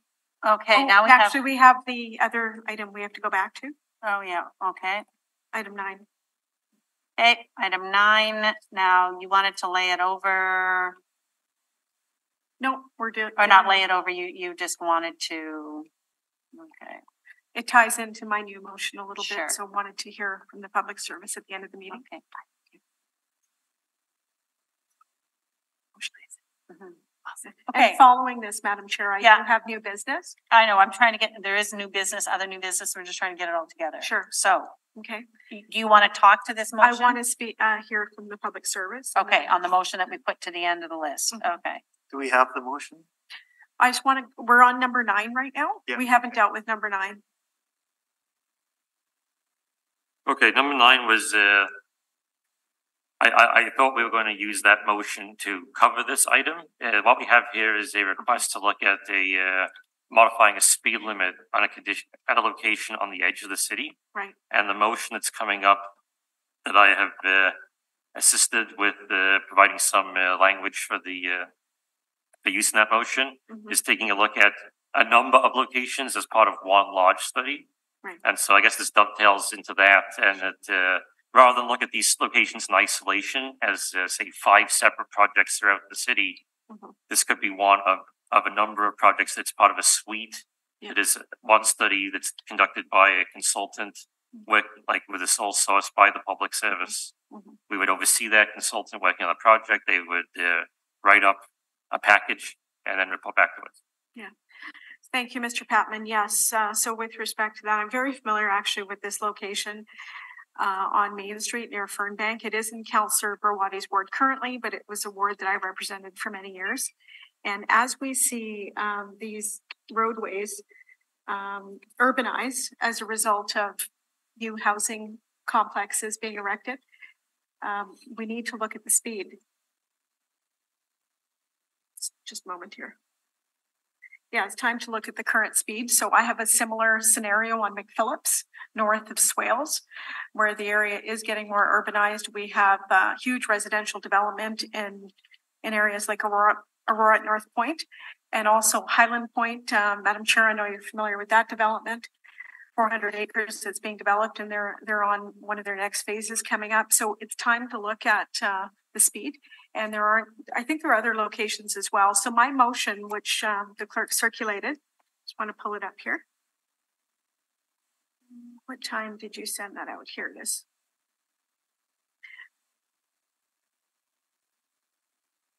So my motion is uh, directing the public service to look at the regional road of McPhillips, north of Swales, uh, but also points to some other locations um, around the city that are, that are similar that the public service wants to look at. So I think this, this motion uh, points to the resources that they have uh, to look at these scenarios. And do you have the motion, Madam Chair? I have the motion. Yeah, yes. do you, Council Chambers? Yeah. And maybe I could have the clerk read it into the record. Sorry, uh, so we're still on item nine, right? Um, so that motion is a new business motion. So if the committee would like to suspend the rules to consider, it certainly could, but then would still need to sort of follow back to. Well, that's what I'm wondering, the, the current motion, if it would fall, because the motion that I have actually has a time frame, and then you've outlined resources. So would we refer, it's hard to refer that item to this motion, or do we receive that as information? And it's covered off in here, because Yeah, I, It's a, I, I would say that the, for, for, for item number nine, we anticipate we will use the new motions project. We will incorporate this study into that. right, And so the timeframes, so then we want them to be concurrent with each other. Mhm. So that we're asking for whatever time frame we get for number, yeah. the, the new motion, like number fifteen, if we call it that. Okay, so I'm wondering for item nine, would we move it um with two hundred and forty days Yes. behind it? That's, Yeah, what- that's so what I was we'll getting to. Deal with it as a standalone, but uh knowing that the next motion that I'm gonna speak to once again, when I have the opportunity to do so, it'll be similar. Right. Okay. So yeah, we're asking for two hundred and forty days to complete uh, item number nine. okay, Okay. I'd like to move that, Madam Chair. Okay, so just, just, I just want to ask a question here, Mhm. okay? Because that's, um, I'm a little, I'm gonna say, I'm a little frustrated with the Public Works Department on these speed limits on these major corridors, okay? So item number nine, they're wanting a change of speed on Main Street, on a portion of Main Street. Yes. So there's some speeds here, there's some speeds there, there's some speeds there. Yeah. Okay? I- I'm pulling up Waverley, and this is what you want too on yours, mm-hmm. right? There's Some speeds here, mm-hmm. some And there. this is close to the perimeter, like on the outskirts, right? Yeah. Yeah. That's where this is similar to mine. Yeah, Yeah. Fernbank or Main Street, north Yeah. of Fernbank, yours, Waverley. So when I, I, Waverley's got multiple speeds on it. Yeah. I brought forward a motion requesting, you know, study the speeds, this and that. Counselor, we're doing this in the transportation, um, Master plan. master plan. We're doing it, we're doing in that, we're studying streets. I'm, I'm going into my blog right now to find it, because I keep all this information. You know, you know, they, they reported back, they adjusted the speed in one section. Um, but clearly, now the person isn't here right now, the person has left and is working at somewhere else. Mm. But the person told me, as part of our transportation, um, master plan, these major corridors, we're reviewing these various speed limits on these major corridors, blah, blah, blah. So I'm like, okay, fine, I'll just leave it sit, right? Um, and I don't know, there's three or four or five speed limits on, on that section. You've got multiple speed limits, Main Street's got multiple speed limits. So Would, would that section of Waverley be covered off with the new motion? With this new Is- motion. Is that one of the That would ones be you type of like, we're, we're realizing the process that we're doing right now up to this point is not, it's creating this kind of mishmash. On corridors like this, especially when the conditions are changing. So they keep coming in one at a time Right. and So this allows. Well, they come in one at a time, but we forget the ones that come in before. we aren't trying to forget any of them that have come before and, and But this allows you to bundle it and we're assign gonna, it we're to gonna someone. stop bundling them and we think that's a better way to approach them, to do them one off and then make everyone wait for the next one. By Yeah. bundling them, Yeah. we can clean this up a lot And faster. assign it to someone and get, have their attention on it. Yeah. Now, So that was my thought, Councillor Lukes, um, Madam Chair, when I asked the public service to help me with the motion, because being on this committee, I was aware that of some that had come forward before, but Mhm. hadn't seen the reports on them. So I'll just look at your motion again here. So y- your motion, but it's focused, it's, how does it say it's bundling other ones together? Well, in, uh, the, the resolve, item one. Okay. uh, Sure, so that's it looking says at that one least four other corridors, so if you want to specify which ones they are or ask, we can have a discussion on that. There's- Well, There's several other corridors. I know, I happen to be sitting here and I pull up mine, maybe other people have corridors. Yeah. What, I, I don't know, like in the trans, they were telling me this is all occurring in the, the development of the transportation master plan. Hmm. So. It's, yeah, it's not, it, it, You're the chair now. it's turned out that it's not really accurate to say that the transportation master plan can do that minute level of detail to look at individual corridors. The type And of I thing the think we transportation, asked you this yeah. one other time and you said that, so. the type of thing that the transportation master plan would say is we should be doing studies of these and do them as a group and look at them all at once. Yeah. So we're trying to, ca- we're trying to do it, instead of trying to do every single one at once, we're saying, let's do packages of them. And so we are open to talking with you as the chair of SPC, uh, with other councillors and say, what do we already have on our to-do list of corridors like this? Let's get them all dealt with. Mhm. And so we're saying start with five because we think five is a, is a package we can put together for a, uh, a certain amount of dollars that we can assign from the TEIP funding. Mhm. Get it done in, it- within a reasonable amount of time by a consultant. It's a fairly straightforward process. We do it in-house if we could, but we just lack the resources to work on it right now. The consultant can do it very quickly. They know that, they know what we're looking for.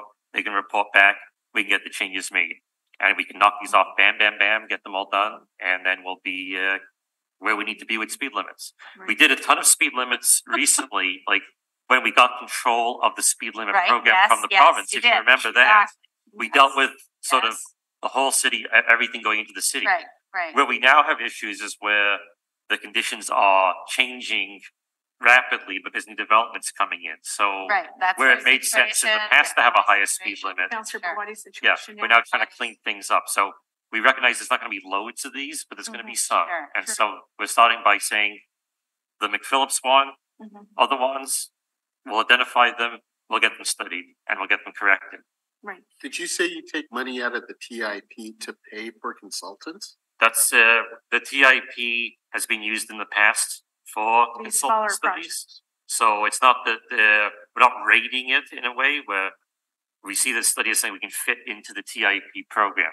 The cost of these studies is gonna be low cost compared to the, the major projects that TIP funds, like, uh, a new signal, something like that, like, like large infrastructure, that's, uh, the high end of what the TIP funds.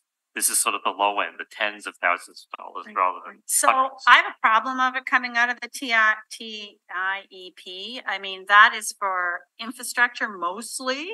And that's for like calming, pedestrian calming and then, you know, Yeah. lights and all of that. Why can't this come out of the roads budget? We're, we're studying speed on roads. Why can't it come out of the roads budget? I don't really want it personally. That limits our lights and it limits our traffic calming things or devices, whereas this is road speed. So if you look at other But wouldn't this alleviate some of those potential problems if we looked at this? There's a, there's a road safety aspect to it, which is why we thought the TIP program would be an appropriate place for this. Mm-hmm. We're not locked into using that TIP program for this, but it's been generally what we've used. We've used it for this type of study in the past. Well, not generally, but. Not, you not have generally, used but we have used it before. It's not, it's not a common occurrence to do, s- use it for studies. It has been used. Right, I, I So know those Just TIP knowing the programs. challenges that we're up against in terms of getting some of this infrastructure in place, every dollar should be dedicated towards those, TIP. the, infra- yeah, those And infrastructure if they're uh, looking at needs. budgets that Yeah. they have in roads, then I think that, um, And, and and this may be getting into the weeds, but Can we slot put uh TEIP slash road budget and kind of leave it at that? Does it stay at this committee, this motion? Madam Clerk? I Um, believe it does. the department feels that this would fall within the purview of the traffic engineering improvement program capital budget, then I, I think it, I think that's appropriate because it is a road safety thing. The, uh, the, the local and regional street renewal program is a re, is definitely a renewal program. And we do do traffic engineer improvements in that program as well on the projects that are identified. Yeah, this But, is, but in this this is case, the study, the study would fit within this. I think for the local and regional program, you need two thirds of council to change the, uh, what it's used for. And I think this would probably fall outside of that a little bit. Well, this is speed and this is on major corridors, so I don't see why it needs to come out of TIEP. Why- I'm sure you've got funding that it can come out of elsewhere, right? Where, I don't know. I think that. Where that do you is- do, where do you do, when you do appropriate one. speed studies, where do they come out of? We haven't done a speech, usually we do speech studies internally, and so we don't incur funding ah. for them. This is because we're using a consultant to fast track it to get mm. it done. Because as you said, the other speed it studies haven't been done. So this was just a way when I, when I identified that I need this done on McPhillips, the other ones I knew hadn't been done yet.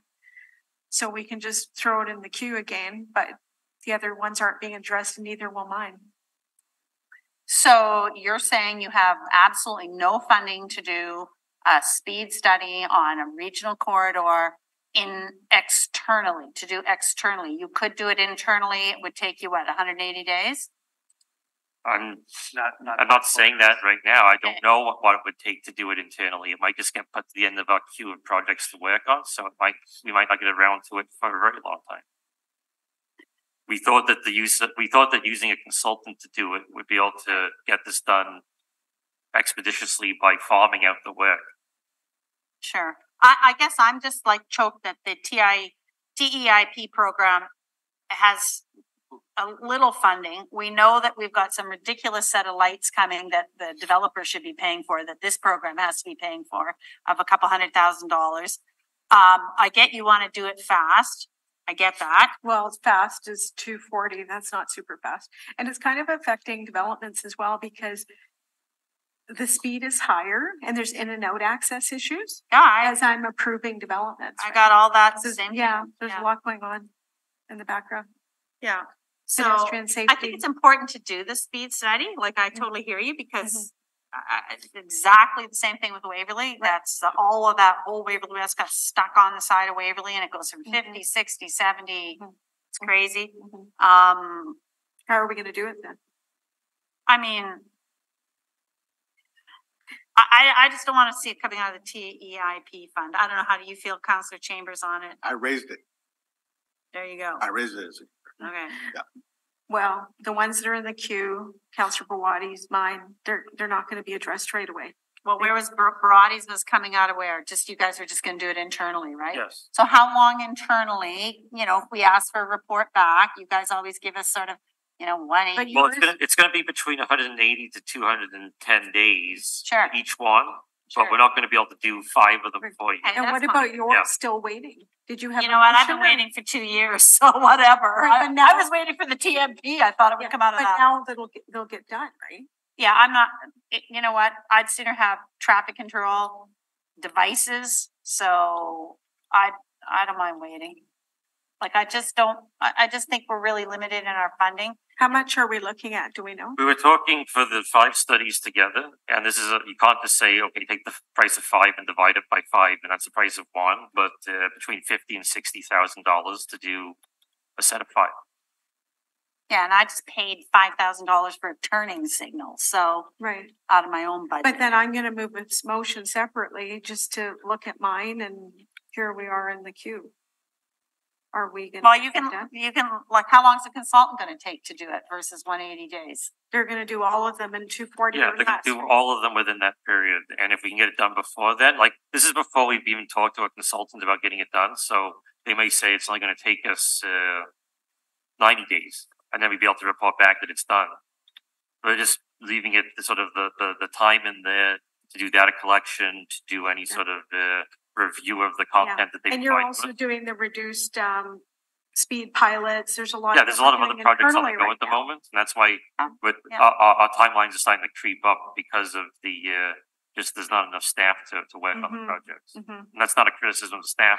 Right, It's but just we've that been there's- hearing that over and Yeah. over. There's not enough people and there's things in the queue, et cetera. Well, I, I, mine can wait, like, I'd sooner wait and get my yellow flashing lights out of the TEIP that I've been waiting for for years.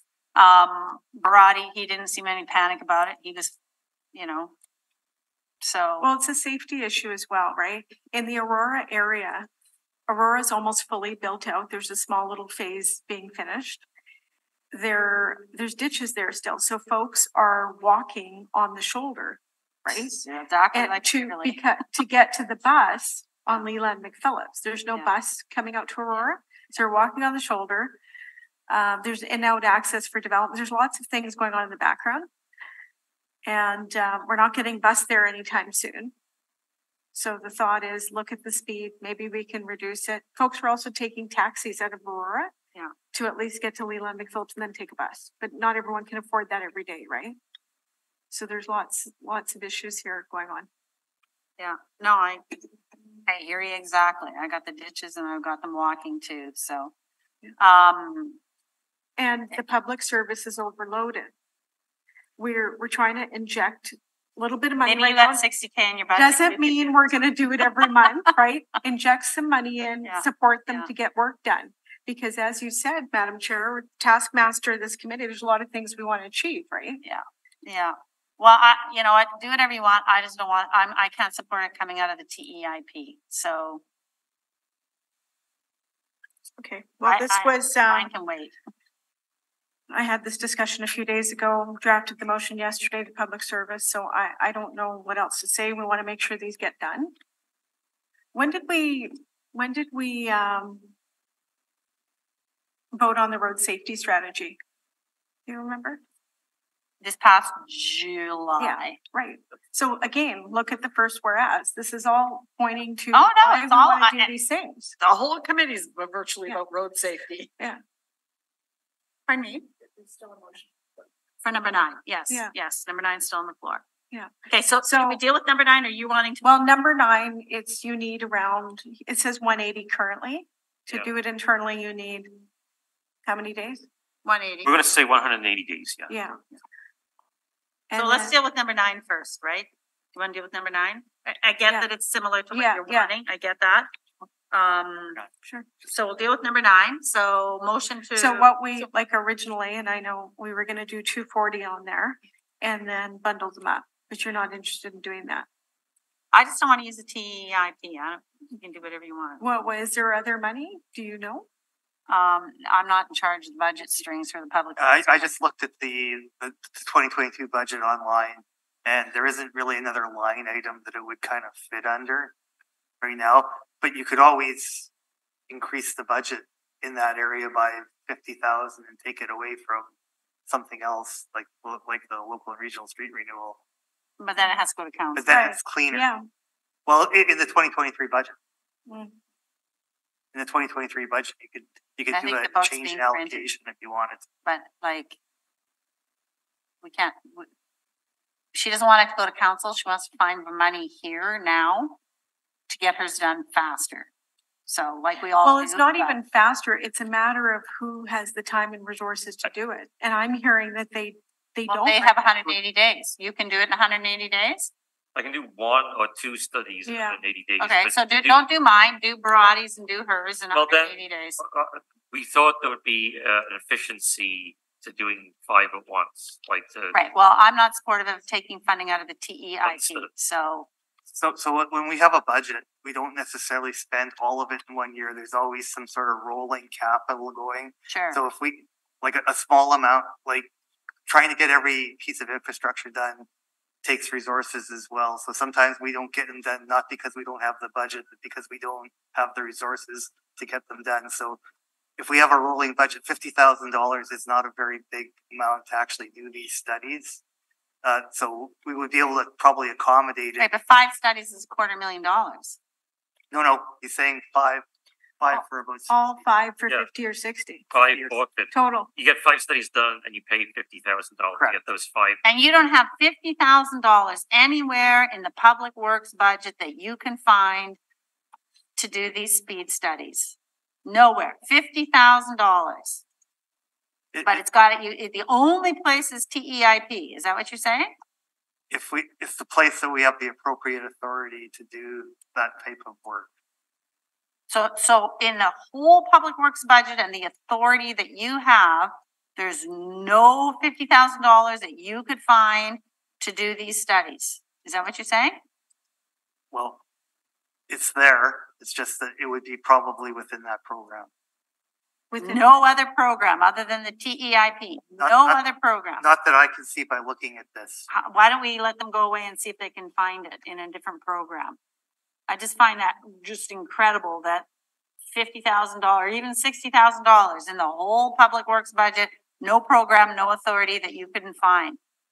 Would you want, would you mind letting them, would you be okay Yeah. with letting them go away and try and find it? I mean, as mentioned, that there's so much demands and pressures on critical infrastructure, you know, uh, traffic calming, um, that is needed and, you know, previous chair has tried to look at different funding opportunities to realize, you know, all of the unfunded projects that are critical, that, you know, are needed but are unfunded. So, uh, where we can, you know, ensure that this money is being used for those infrastructure projects. Yeah. As opposed to consulting fees.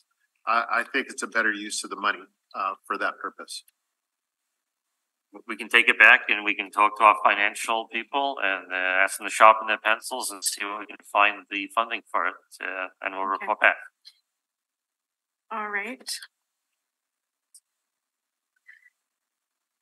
Yeah, so further to that comment, I think we, I haven't, uh, we haven't suspended the rules to even hear the motion, so we'll bring it forward next time.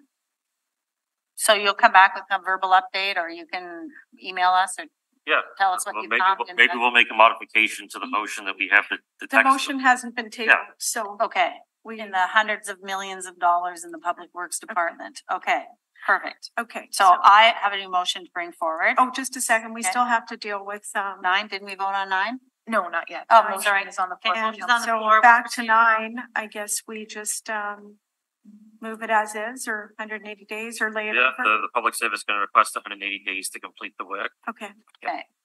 Okay, and they may not start it by the next meeting. If we can find the fifty K, they can bundle it in. They would 30 bundle it days, in, they're yeah. Probably not gonna okay, start so it. let's do that then. Okay, And it doesn't mean they can get it done. I mean, others are waiting. We know the conversation we just had today. yeah. Okay, so I'll move, uh, move item nine. okay, all in favor? Aye. Aye. Okay. All right. Um, okay, so now I have a motion for a new business I'd like to bring forward. Uh, all right, I have a new business, so could I have a motion Uh, to suspend, do you want me to take the chair? suspend the rules? Sure. I'll take the chair. Okay. Okay. Okay, so, So you have to move the motion and I'll call the question. yeah, okay, so I'm gonna move the motion. Okay, so, um, Suspend the rules. all in favor? Aye. Ah, Carried. Okay. So, um, this, this motion is to kind of clean up past motions that weren't addressed, that, but were suspended, I guess we'll call it, in relation to the, um, spec review. And this is to engage in, um, improved collaboration and looking for an exterior consultant. Okay, so there's a lot of whereases here. Um, I'll just, I think, maybe read the be, therefore be it resolved. This is in relation to, of course, uh, Winnipeg updating and developing new construction specifications for building new and repairing existing roads. Um, the objectives of the new specifications obviously include achieving optimum performance, respect for the environment, um, including but not limited to appropriate finite resource management, productivity, supporting economic opportunities and innovation, looking at greenhouse gas emission reductions, and harnessing cost benefit and recycling advantages. So, um, Whereas mayor and council, we require updated information and recommendations, ensuring an in-place process to develop new specs related to council direction, uh, to provide recommendations for the increased use of recycled concrete aggregates, and to enable informed political direction going forward. Um, uh, you know, I can, I'll, I forward the motion here. So basically, the therefore be it resolved is that the Executive Policy Committee be requested to direct the CAO to undertake and retain a third-party subject matter acceptable to both the city and private sector um, in order to provide the following to the Standing Policy Committee on Public Works. Um, so consultation with the Public Works Department and other relevant stakeholders to develop recommendations for a public and private sector collaborative process to introduce, update, and improve road design specs in order to achieve optimum performance while maintaining respect for the environment, including but not limited to. Again, the points that I listed earlier. And then outlining the necessary research and related next steps required in order to provide a formal response to the following items. Uh, reporting for which was suspended on July seventh. And this is the cost benefit economic analysis and identifying a company policy instruments and measures related to the collection and disposal of construction debris. Those two items were, I guess, suspended at the July seventh, twenty twenty-one meeting. So this is the motion I'm bringing forward. I'm looking for support on this. Can, can somebody send it to me so I could ha- see it? Yep, yep. I'll- Where do we get this external, we need a consultant for this? Yes, How are we paying for that? uh, CAO's office. So there is a question I have in here, Madam Clerk, in the therefore be it resolved. Uh, you've got at the September eleventh, twenty twenty-three meeting. Oh, sorry about that. That should be twenty twenty-two. I think that was actually the request for report back. So the public service would be providing what's included in the resolve to the standing committee at this September eleventh, twenty twenty-three meeting. Got it, to report back at that date. Mm-hmm. Got it. Okay, I'll send it to Mr. Narek. So, so when we, like, if it's for those final two items, like the- the economic benefit analysis, we reported that we needed a budget referral of about two hundred and fifty thousand dollars in order to do a study like that. It, we wouldn't be able to report back by September because it would take a while to engage, uh, engage a consultant to do that kind of study. And, and are we, are we talking about just pertaining to recycled aggregate right now? This specification issue? I've sent it to you. So the first one to report back by September eleventh is to retain a third-party subject matter expert uh, to provide not the cost benefit analysis, but to provide um, recommendations for a public-private sector collaborative process to introduce and update and improve road design specs in order to achieve optimum performance while maintaining respect for the environment including but not limited to appropriate finance, resource management, productivity, supporting economic opportunities, innovation, reducing greenhouse gas emissions, and harnessing cost benefit and recycling advantages. We know that you're needing funding for the cost benefit analysis, and we're looking for that in the budget.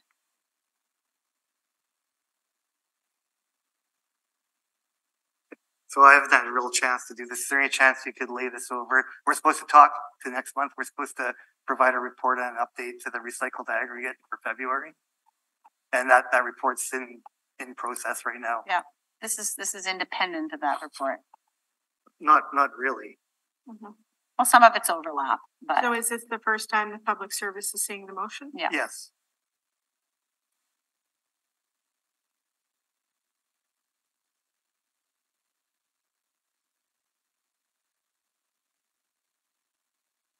We can take a break for ten minutes if you want. Sure, let me, let me. read Sure. it. Okay, Sure. so moved. Okay. Call the question. Uh, all in favor? Aye. Opposed, carried.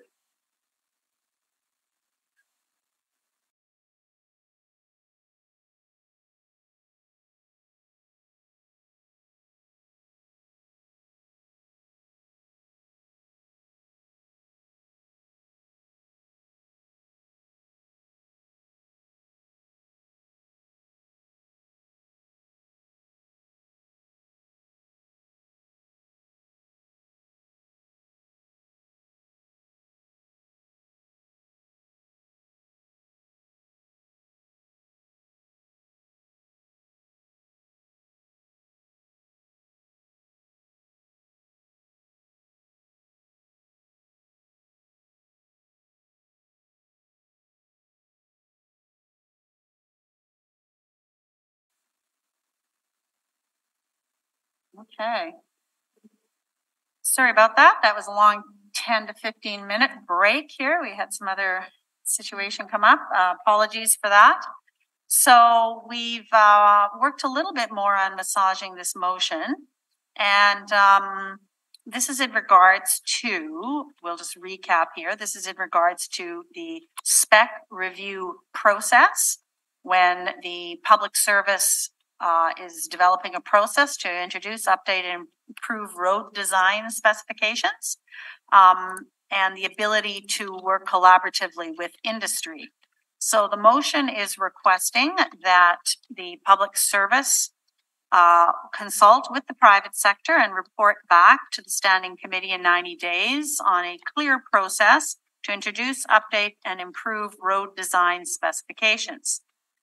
Also is requesting a budget uh, request to do a cost benefit analysis on identifying and quantifying the cost, uh, economic, environmental, and resource management benefits associated with the use of reclaimed concrete aggregate. So that basically are the therefore be it resolved. I apologize for the delay in this. We're working together on this and it took a little longer than planned. So that's the motion that I'm bringing forward and I'm asking uh, for support from the committee. How does the um chair at the U of M fall into this at all, Dr. Shalaby?